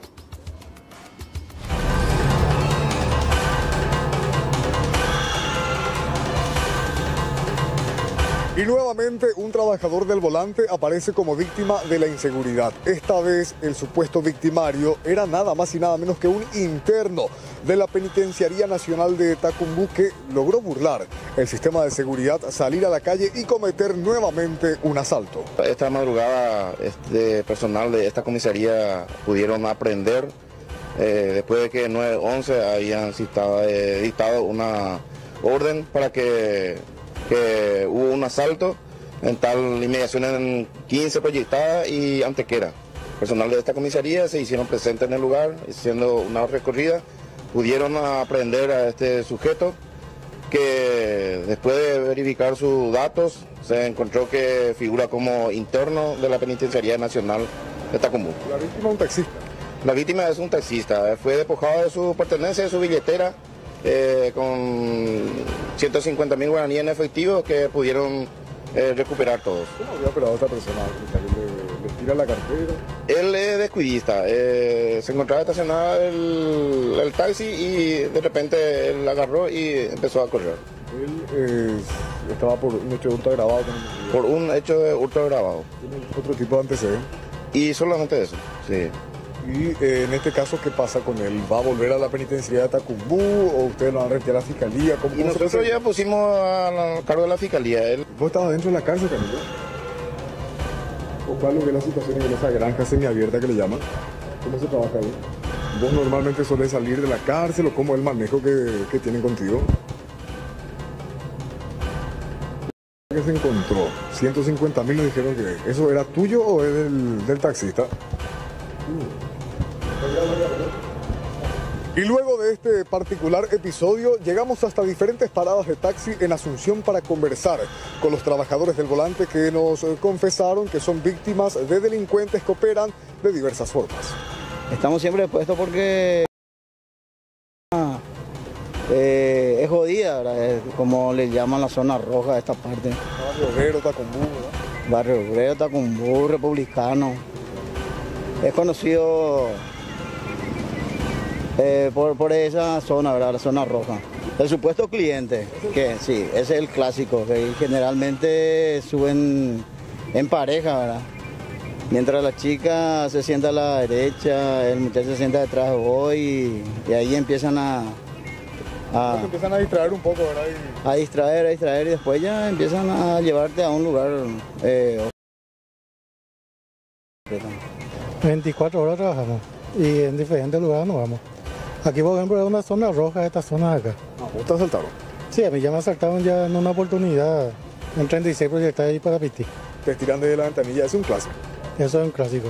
Después está el otro que se eviten bien, que vos no, no desconfías. Eh, no sabes si es asaltante o no es asaltante porque llevan buena vestimenta. Y por el camino más ya te, te asaltan. Pues yo digo que, que acá se tiene que cambiar el comandante de la policía, el ministro del Interior. Los dos son inútiles.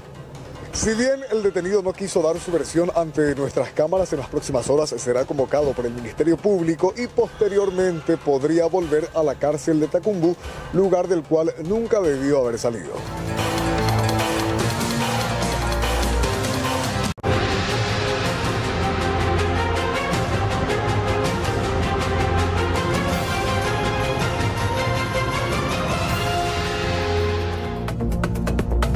Agradecemos la, comunicación con el comisario Víctor Ortiz, eh, una imagen que, que no deja de conmover más aún con este tiempo, una niña en estos atavios, está descalza, llueve intensamente, está desesperada, se encuentra en la comisaría tercera de la ciudad de, de Luque y, y para saber más detalles acerca, porque eh, la, la- la policía también en ese afán humano trata de encontrar a, a su madre. Estamos en comunicación con el comisario Víctor Ortiz. ¿Cómo le va, comisario? Buen día.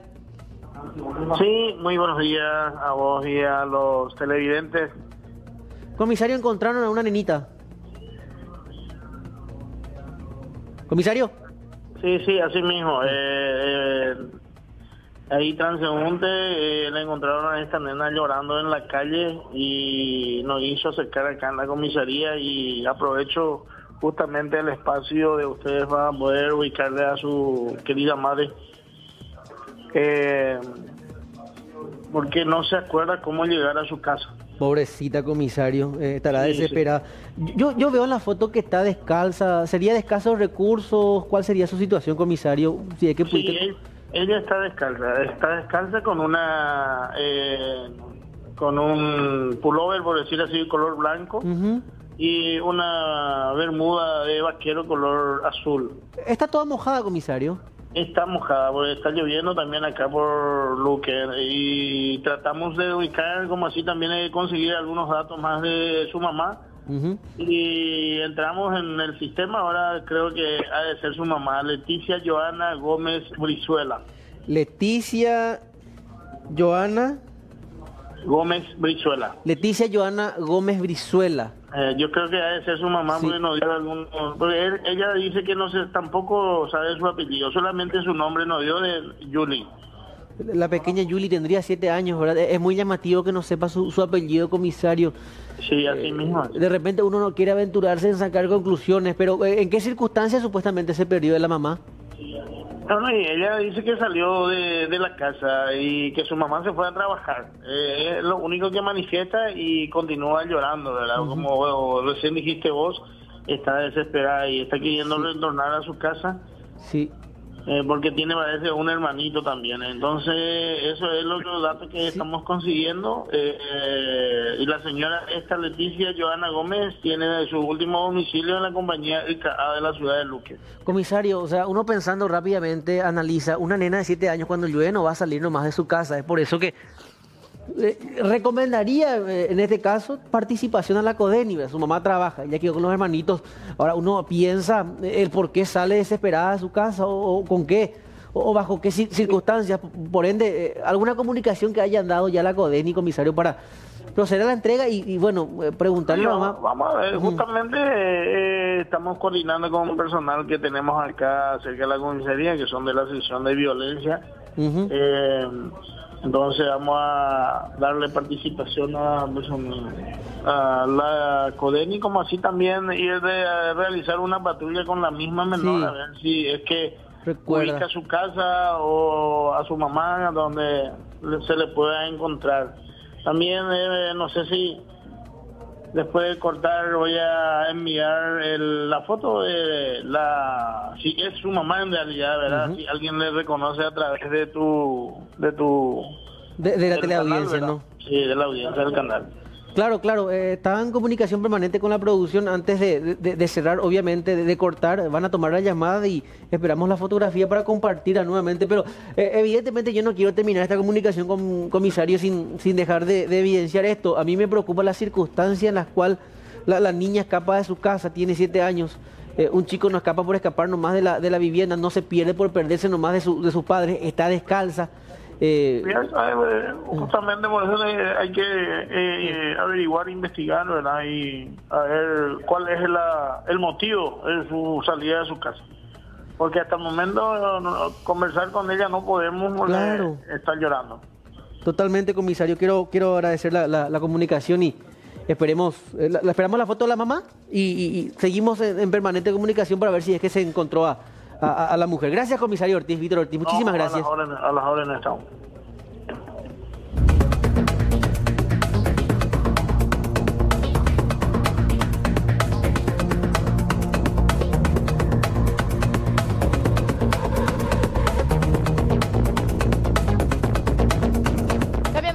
Y nos vamos hasta el sur del país. Un obrero resistió una electrocución bastante importante que se daba eh, cuando estaba trabajando, realizando trabajos en el techo del nuevo hospital pediátrico de Coronel Bogado. La víctima, como les decíamos, sobrevivió a este grave accidente laboral y permanece internado en el hospital regional.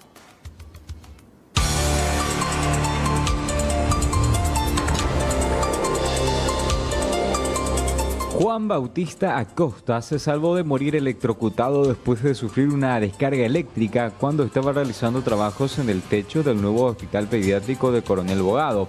El elemento metálico que utilizaba para hacer la soldadura hizo contacto con un cable de media tensión de la ANDE y esto ocasionó el grave accidente.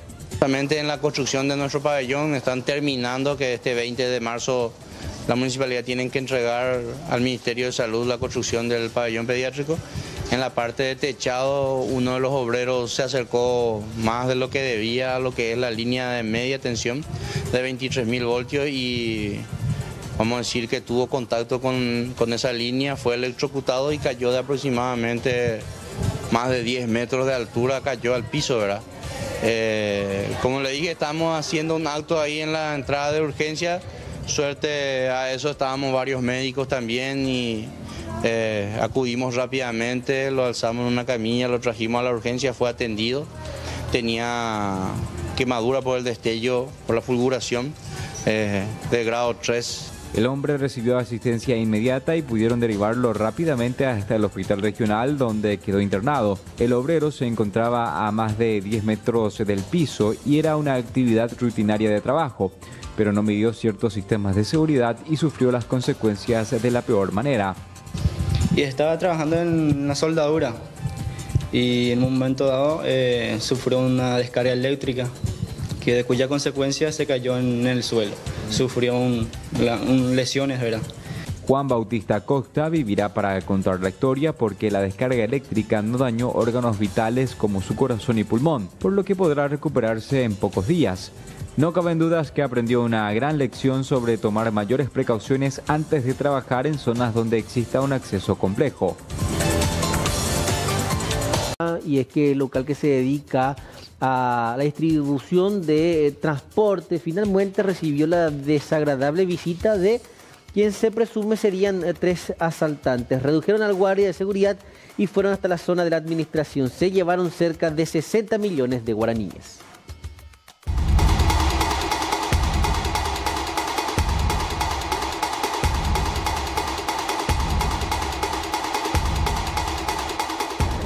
Delincuentes a punta de arma de fuego irrumpieron en una empresa de transporte, hirieron al guardia y posteriormente se llevaron cerca de 60 millones de guaraníes. Hasta el momento la policía investiga este hecho y nada se sabe acerca de estos malvivientes. Efectivamente, el día de ayer a las 17 horas aproximadamente, tres personas de sexo masculino, aparentemente a cara descubierta, eh, irrumpieron en, en la empresa de transporte Petroquim SA, ubicado sobre las calles 11 de septiembre, casi Capitán Figari, zona sur de esta ciudad. Ahora, estas tres personas con arma en mano intimidaron a los propietarios que se llevaron. Sí, eh, según la manifestación de las víctimas, estas tres personas y una persona de, de sexo masculino con una, presumiblemente un revólver, irrumpieron el lugar, con el cual eh, redujeron al administrador y también a su propietario y se llevaron la suma de 60 millones de guaraníes que sería eh, para, que estaría destinado para el pago de haberes de los empleados. Ahora, ¿se sabe ya algo acerca de estos delincuentes?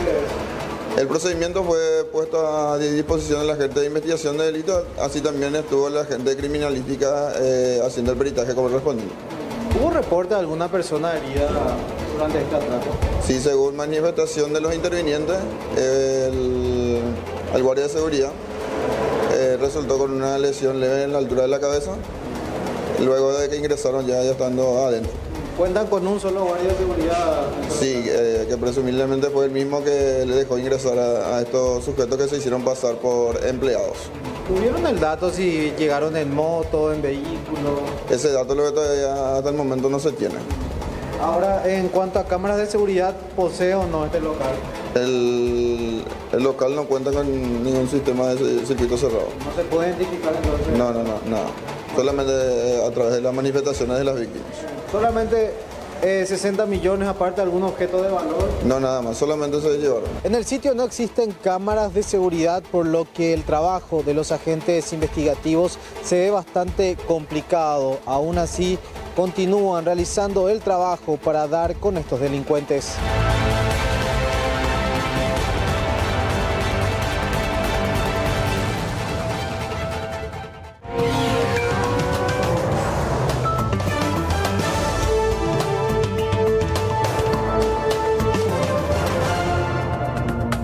Atención a la siguiente información. De hecho, ya lo adelantabas ayer a esta hora específicamente, Violeta. Eso que ven en imágenes, el cargar combustible, al parecer, los índices han variado, la ecuación económica da cierto cálculo y podría incidir nuevamente en el precio de los combustibles. Bueno, se habla, ayer eh, nosotros lo que decíamos que es que la titular de Petropar está o mencionó hace unos días que el combustible, por más de que haya ya un aumento regional, etcétera, eh, no va a subir todavía para lo que tiene que ver con las Todavía. estaciones de servicio del emblema Petropar. ¿Por qué? Porque hay un excedente todavía que aguantaría, eh, no me acuerdo si sea un mes y medio, pero va a aguantar todavía un tiempito. Ahora. ¿Qué va a pasar con las empresas o las estaciones de servicio de los emblemas privados? Aparentemente ya se habla de un aumento de 500 guaraníes por litro, el diésel en este caso, pero los emblemas privados. Desde APESA entonces, la Asociación Paraguaya de Estaciones de Servicio. Exactamente, desde abril. Al mes de abril. 500 guaraníes por litro es mucho.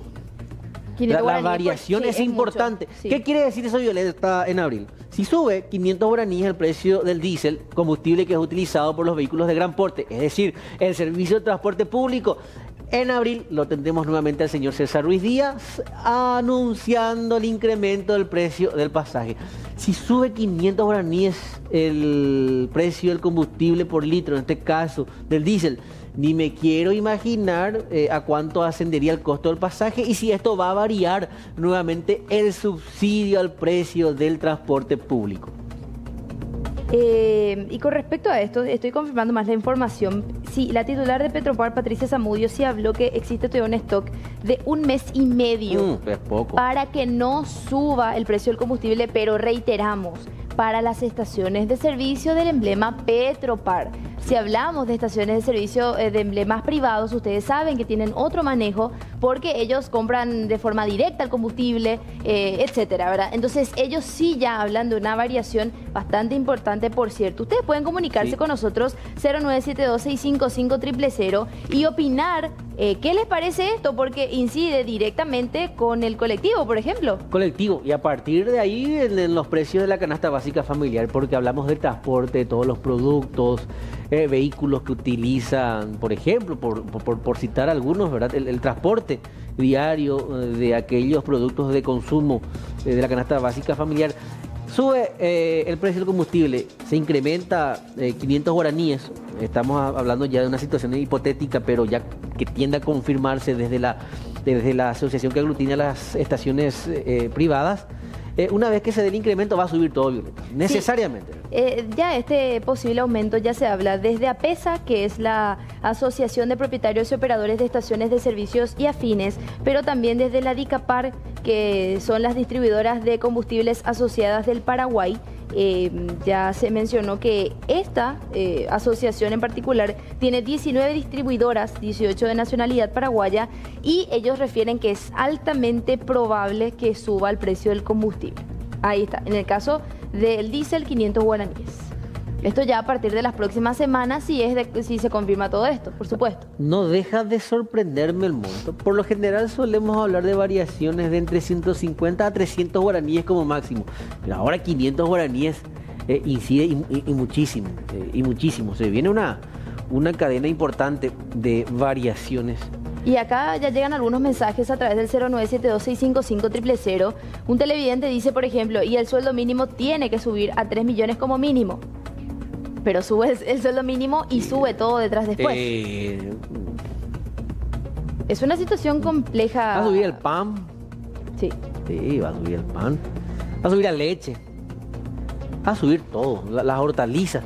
Están luego caras las hortalizas ahora, Violeta. Imagínate con el incremento del precio de los combustibles. Preguntan también por qué motivo sube el diésel. Y hay que recordar que nosotros somos importadores de, del combustible. Nosotros no producimos petróleo. Entonces sí o sí hay que comprar y estamos a merced de las ecuaciones, como se dicen, tanto la suba del dólar, eh, que suba el Producto Bruto, lo saludamos ya a Vicente San Martín de APESA para confirmar esta información. ¿Cómo te va, Vicente? Buen día. Buen día, ¿qué tal? ¿Cómo están? Súper bien, bueno, eh, nos estamos enterando también de esto. Se habla ya de una posible suba de 500 guaraníes por litro para el diésel. Bueno, en realidad, la, eh, cuando se fijaron los precios en diciembre, con los precios de diciembre eh, estuvieron dadas las condiciones y lamentablemente a partir de enero y febrero eh, hubo un incremento pequeño, pero que fue sumando. Sí. Y a esta altura ya la tendencia se mantiene, así que realmente, lamentablemente, ya es, inevitable, así como están las cosas, que suba. Eh, es decir, que este, este primer incremento que ustedes lo percibieron, ustedes digamos que amortiguaron el impacto y ahora ya es inevitable. Lo que pasa es que eh, siempre hay un retraso por el tema del, de las compras, eh, porque normalmente en diciembre se compró y había stock comprado a menor precio, digamos. Pero ese, ese, ese precio ya, ya no estaba vigente ni en enero, en febrero subió todavía más. Y ese stock también ya se está acabando, así que es inevitable que se vayan haciendo los ajustes. Don Vicente, ¿es para todos los tipos de diésel o uno en específico? En principio para todos, pero evidentemente cada producto va a tener su propio incremento, no necesariamente va a ser el, mismo que el del diésel, sobre todo porque ahí juega también el stock que todavía se tiene con los productos que rotan menos. El diésel es el que rota más y por lo tanto su, su stock también eh, afecta más, digamos. ¿Se tiene un estimativo de cuál es el nivel de consumo en nuestro país de diésel, por ejemplo? Y ahora yo mm, podría decir 150 millones de litros mes, eh, para tener así un, número grueso. Sí. Pero por sobre todo la parte productiva utiliza mucho el diésel, Vicente. Sí, desde luego. Eh, por eso es que siempre el diésel es preocupante porque afecta a la economía. Claro, es la que más incide. Eh. Desde Petropar, eh, ¿cuál, cuál, cuál sería la, tendencia? Si bien hay una cierta independencia en cuanto a los precios, muchas veces inclusive hasta discrepancias, ¿usted cree que necesariamente las estaciones de Petropar tendrán que incrementar también sus... Bueno, eso es lo que hay que entender. En realidad, todos con todos las, todas las empresas, incluida Petropar, eh, compran del mismo lugar, del Río de la Plata, bajo, la, bajo precios internacionales, con el dólar que todos tienen. O sea, eh, eh, realmente no hay mucho de ese tema de, de los precios. en algún momento se manejaron más bien por una cuestión de marketing político, pero en realidad el país eh, y eso es lo que nosotros siempre estamos propiciando. El país debe pagar lo que cuesta el producto y al dólar real. O Sí. sea, toda, todo subsidio, toda, todo artificio finalmente perjudica al país.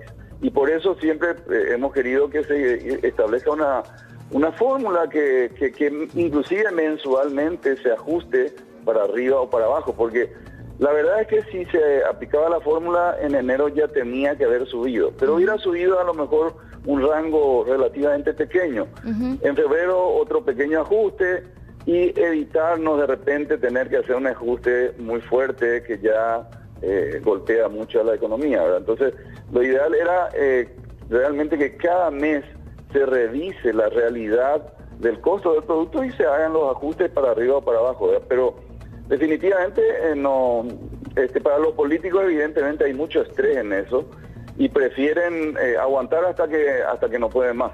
Y eso es lo que eventualmente pasa cuando de repente se acumulan así eh, varias, varios pequeños aumentos. Sí, es decir, Vicente, que eh, Petropar se sigue rigiendo bajo una fórmula y ustedes bajo otra fórmula.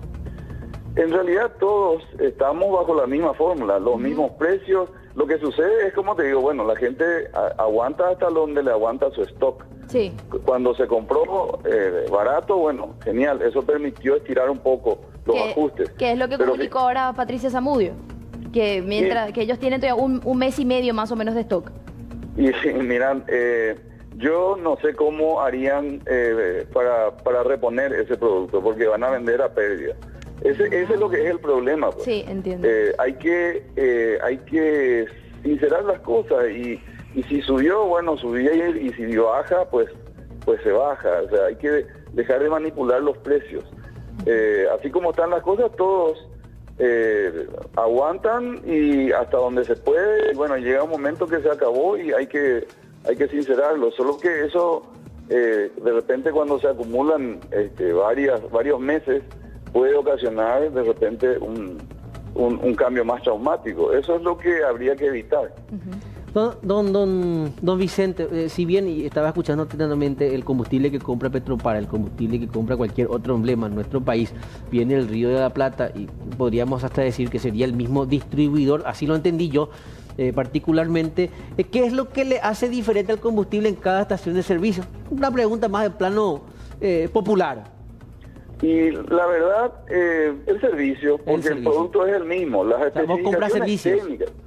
Claro, eh, las especificaciones técnicas de todos los productos son similares. Hay, hay normas técnicas que todos deben obedecer. Tenemos un excelente producto eh, y lo tienen todas las empresas. Y las, las diferencias eh, que hay, que pueden haber en, en- en respecto a precios, son más cuestiones. la, la diferencia es, tal vez algunos tengan aditivos. Ah, claro. Tal vez otras tengan un mejor servicio de, de- de- de- de control de calidad. Sí. Pero son diferencias mínimas, no, no, no, no pueden ser diferencias significativas porque, como te digo, finalmente el producto es el mismo en, en- en- en- en todos los casos. Don Vicente San Martín, agradecemos muchísimo esta comunicación. Ok, cuando gusten. Bueno, realmente han llegado un montón de mensajes, Alexis, sobre todo gente que está preocupada porque dicen, por ejemplo, eh, buenas tardes, al subir el combustible sube el pasaje, yo pago cuatro pasajes para ir a trabajar, tengo colegiantes que usan colectivo para llegar al estudio, desesperante la situación. La dice. tendencia es irreversible. A juzgar por lo que dicen desde APESA, eh, de que se vienen incrementos, se viene. Sí, bueno, y están, están diciendo un poco también que cuando bajó 100 guaraníes el precio del combustible, se hizo un escándalo y ahora está subiendo 500 guaraníes. Y bueno, hablan un poco del tema de robar y demás, que ya nos explicaba don Vicente, que no tiene que ver con robar o no, sino que es un precio que lastimosamente tenemos que pagar al no producir nosotros nuestro propio petróleo. Nos regimos de precio en base al precio internacional y las variaciones del mercado y a- en relación al crudo también, ¿verdad? El crudo de petróleo.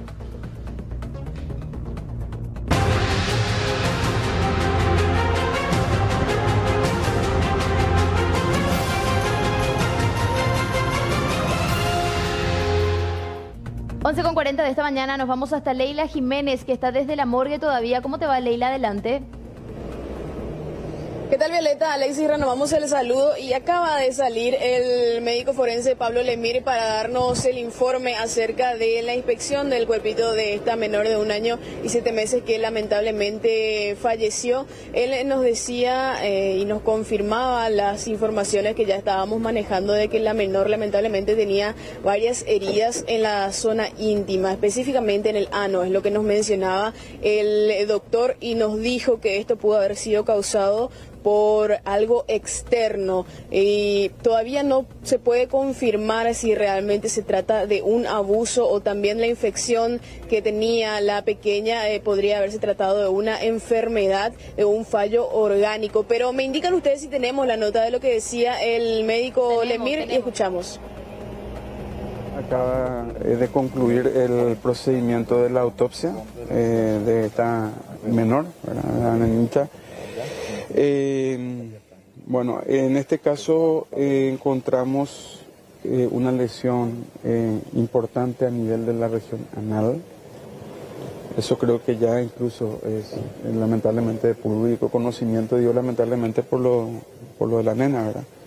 Es de, tenemos una lesión anal importante. y Todavía lo que no podemos tener con una certeza absoluta es la causa de muerte. Hemos sacado todos los órganos, tanto las partes de las vísceras del abdomen como las vísceras del tórax, eh, pero no tenemos una causa definitiva de muerte. Eso va a ser sometido a los análisis correspondientes bajo microscopio de todas estas piezas de los órganos eh, para poder tratar de llegar a una conclusión de la causa de muerte. Sí es llamativo eh, que no encontramos a primera vista en la macroscopía a nivel pulmonar ninguna, eh, ninguna característica demasiado llamativa desde el punto de vista infeccioso, porque en un momento dado se había manejado esa hipótesis. Eh, en principio la, sospecha del motivo del que podría ser la causa de muerte es una falla orgánica múltiple, estamos hablando de una falla de distintos órganos aparatos y sistemas del cuerpo, probablemente de origen infeccioso, eh, pero nos queda determinar el origen de ese cuadro infeccioso. Hasta el momento no podemos descartar, y de hecho es nuestro principal sospechoso, el, la vía anal. Eh, ¿Por qué? Porque hay una congestión de todas las vísceras de los, de los órganos, de todas las zonas de la pelvis, la, la parte inferior del cuerpo, eh, con interés especial en, la, en, el recto, en el ano, etcétera, ¿verdad? Em, si eso fue causado o no por un em, abuso, etcétera, etcétera, eso no lo podemos determinar aún. Eh, se ha tomado toda la biopsia completa de todo el recto, el ano y el intestino completo, ¿verdad? Entonces, eh, con eso, eso se va a mirar en el microscopio y ahí vamos a tener alguna certeza mayor. ¿Esas lesiones serían de largas datas? Eh, no, no, no, estamos hablando de lesiones relativas, o sea, dentro de lo que es las eh, lesiones recientes, ¿verdad? Estamos, ¿15 días, doctor, o más? sí, en ese rango a lo mejor menos. Menos de 15 días. Sí, dentro de ese rango a lo mejor menos. Este, pero como te digo, no, ahora mismo no me animaría a decirte una data exacta porque para eso justamente sacamos las piezas para el microscopio. ¿El tiempo aproximado estimativo, doctor, que se podría tener datos más precisos con...? Mira, esto eh, por las características del caso, eh, de hecho eso te va a incluir lo antes posible, probablemente el lunes ya incluyamos y esperamos tener en no más de 15 días eh, un informe de, anatomía patológica. Doctor, eh, ¿lesiones en la zona vaginal de la niña? No, eh, vagina por sí misma no. la vulva sí está congestionada, edematizada, como toda la zona, pero eso es por el proceso inflamatorio infeccioso de la zona. No, descartan absolutamente nada entonces de todo momento. De momento, nada. Todas las hipótesis abiertas, desde enfermedades mira, simples hasta abuso, todo, todo abierto. Eh, decía usted que no hay forma aún de determinar si la infección que ella padecía era consecuencia de esas lesiones en la zona anal. Claro, eh, por eso digo, de hecho es el sospechoso principal. Eh, ¿Por qué? Porque está todo inflamado, está hematizado, etcétera, etcétera. Tiene características que nos hacen pensar que ese es el foco. Pero hasta poder eh, mirar bajo el microscopio el pulmón, etcétera, etcétera, no podemos descartar ninguna otra hipótesis. ¿Sería posible determinar si es que eh, fue abusada sexualmente? y haremos todo lo posible de determinar, de- de- ya sea para, por el sí o por el no. O sea, vamos a extremar los recursos. Ahora mismo no te puedo decir. Doctor, también se mencionó de que la niña falleció porque no recibió una atención rápida, se buscaba terapia intensiva para la misma. Bueno. Si recibía una rápida atención, la misma iba a... Para eso yo tengo que tener el diagnóstico eh, de certeza y tenemos que también tener la historia clínica. Eh, ninguna de esas cosas tengo en este momento. O sea, eh, tenemos el cadáver, pero el historial clínico de la atención que recibió no lo tenemos. de hecho, recibió atención, teníamos, llegó incluso todavía con los, con las, con eh, los sensores de, de una que se utilizaron para hacer un electrocardiograma, etcétera, etcétera. O sea, tenemos certeza de que fue atendida, ¿verdad? pero no tenemos la historia clínica. Doctor, eh, las heridas que tiene la menor, eh, la misma no era bien atendida por los padres, porque vimos que eran heridas de, de- de vieja data. Sí, por eso te digo, eh, ahora mismo eh, decir eso sería prejuzgar, ¿verdad? entonces no, no queremos meternos en eso. Pero digamos que hubiese sido difícil no ver esas lesiones en una convivencia diaria. Imposible. El origen de las heridas, doctor, que se puede precisar. Tienen características de lesiones contusas, es decir, eh, causadas por un elemento sin filo y eh, eh, sólido, rígido. Ahora, eso, eso puede ir desde la mano hasta un palo o lo que sea, ¿verdad? O sea, en este momento eh, decirte con certeza qué elemento fue no te puedo decir. Pero se habla que fue un elemento externo, un objeto el que provocó las heridas. Eh, en principio ese es el aspecto que tiene. ¿Tenía heridas en otra parte del cuerpo, doctor? No, no. En otra parte del cuerpo, no. Pues, no tenía. Gracias, doctor.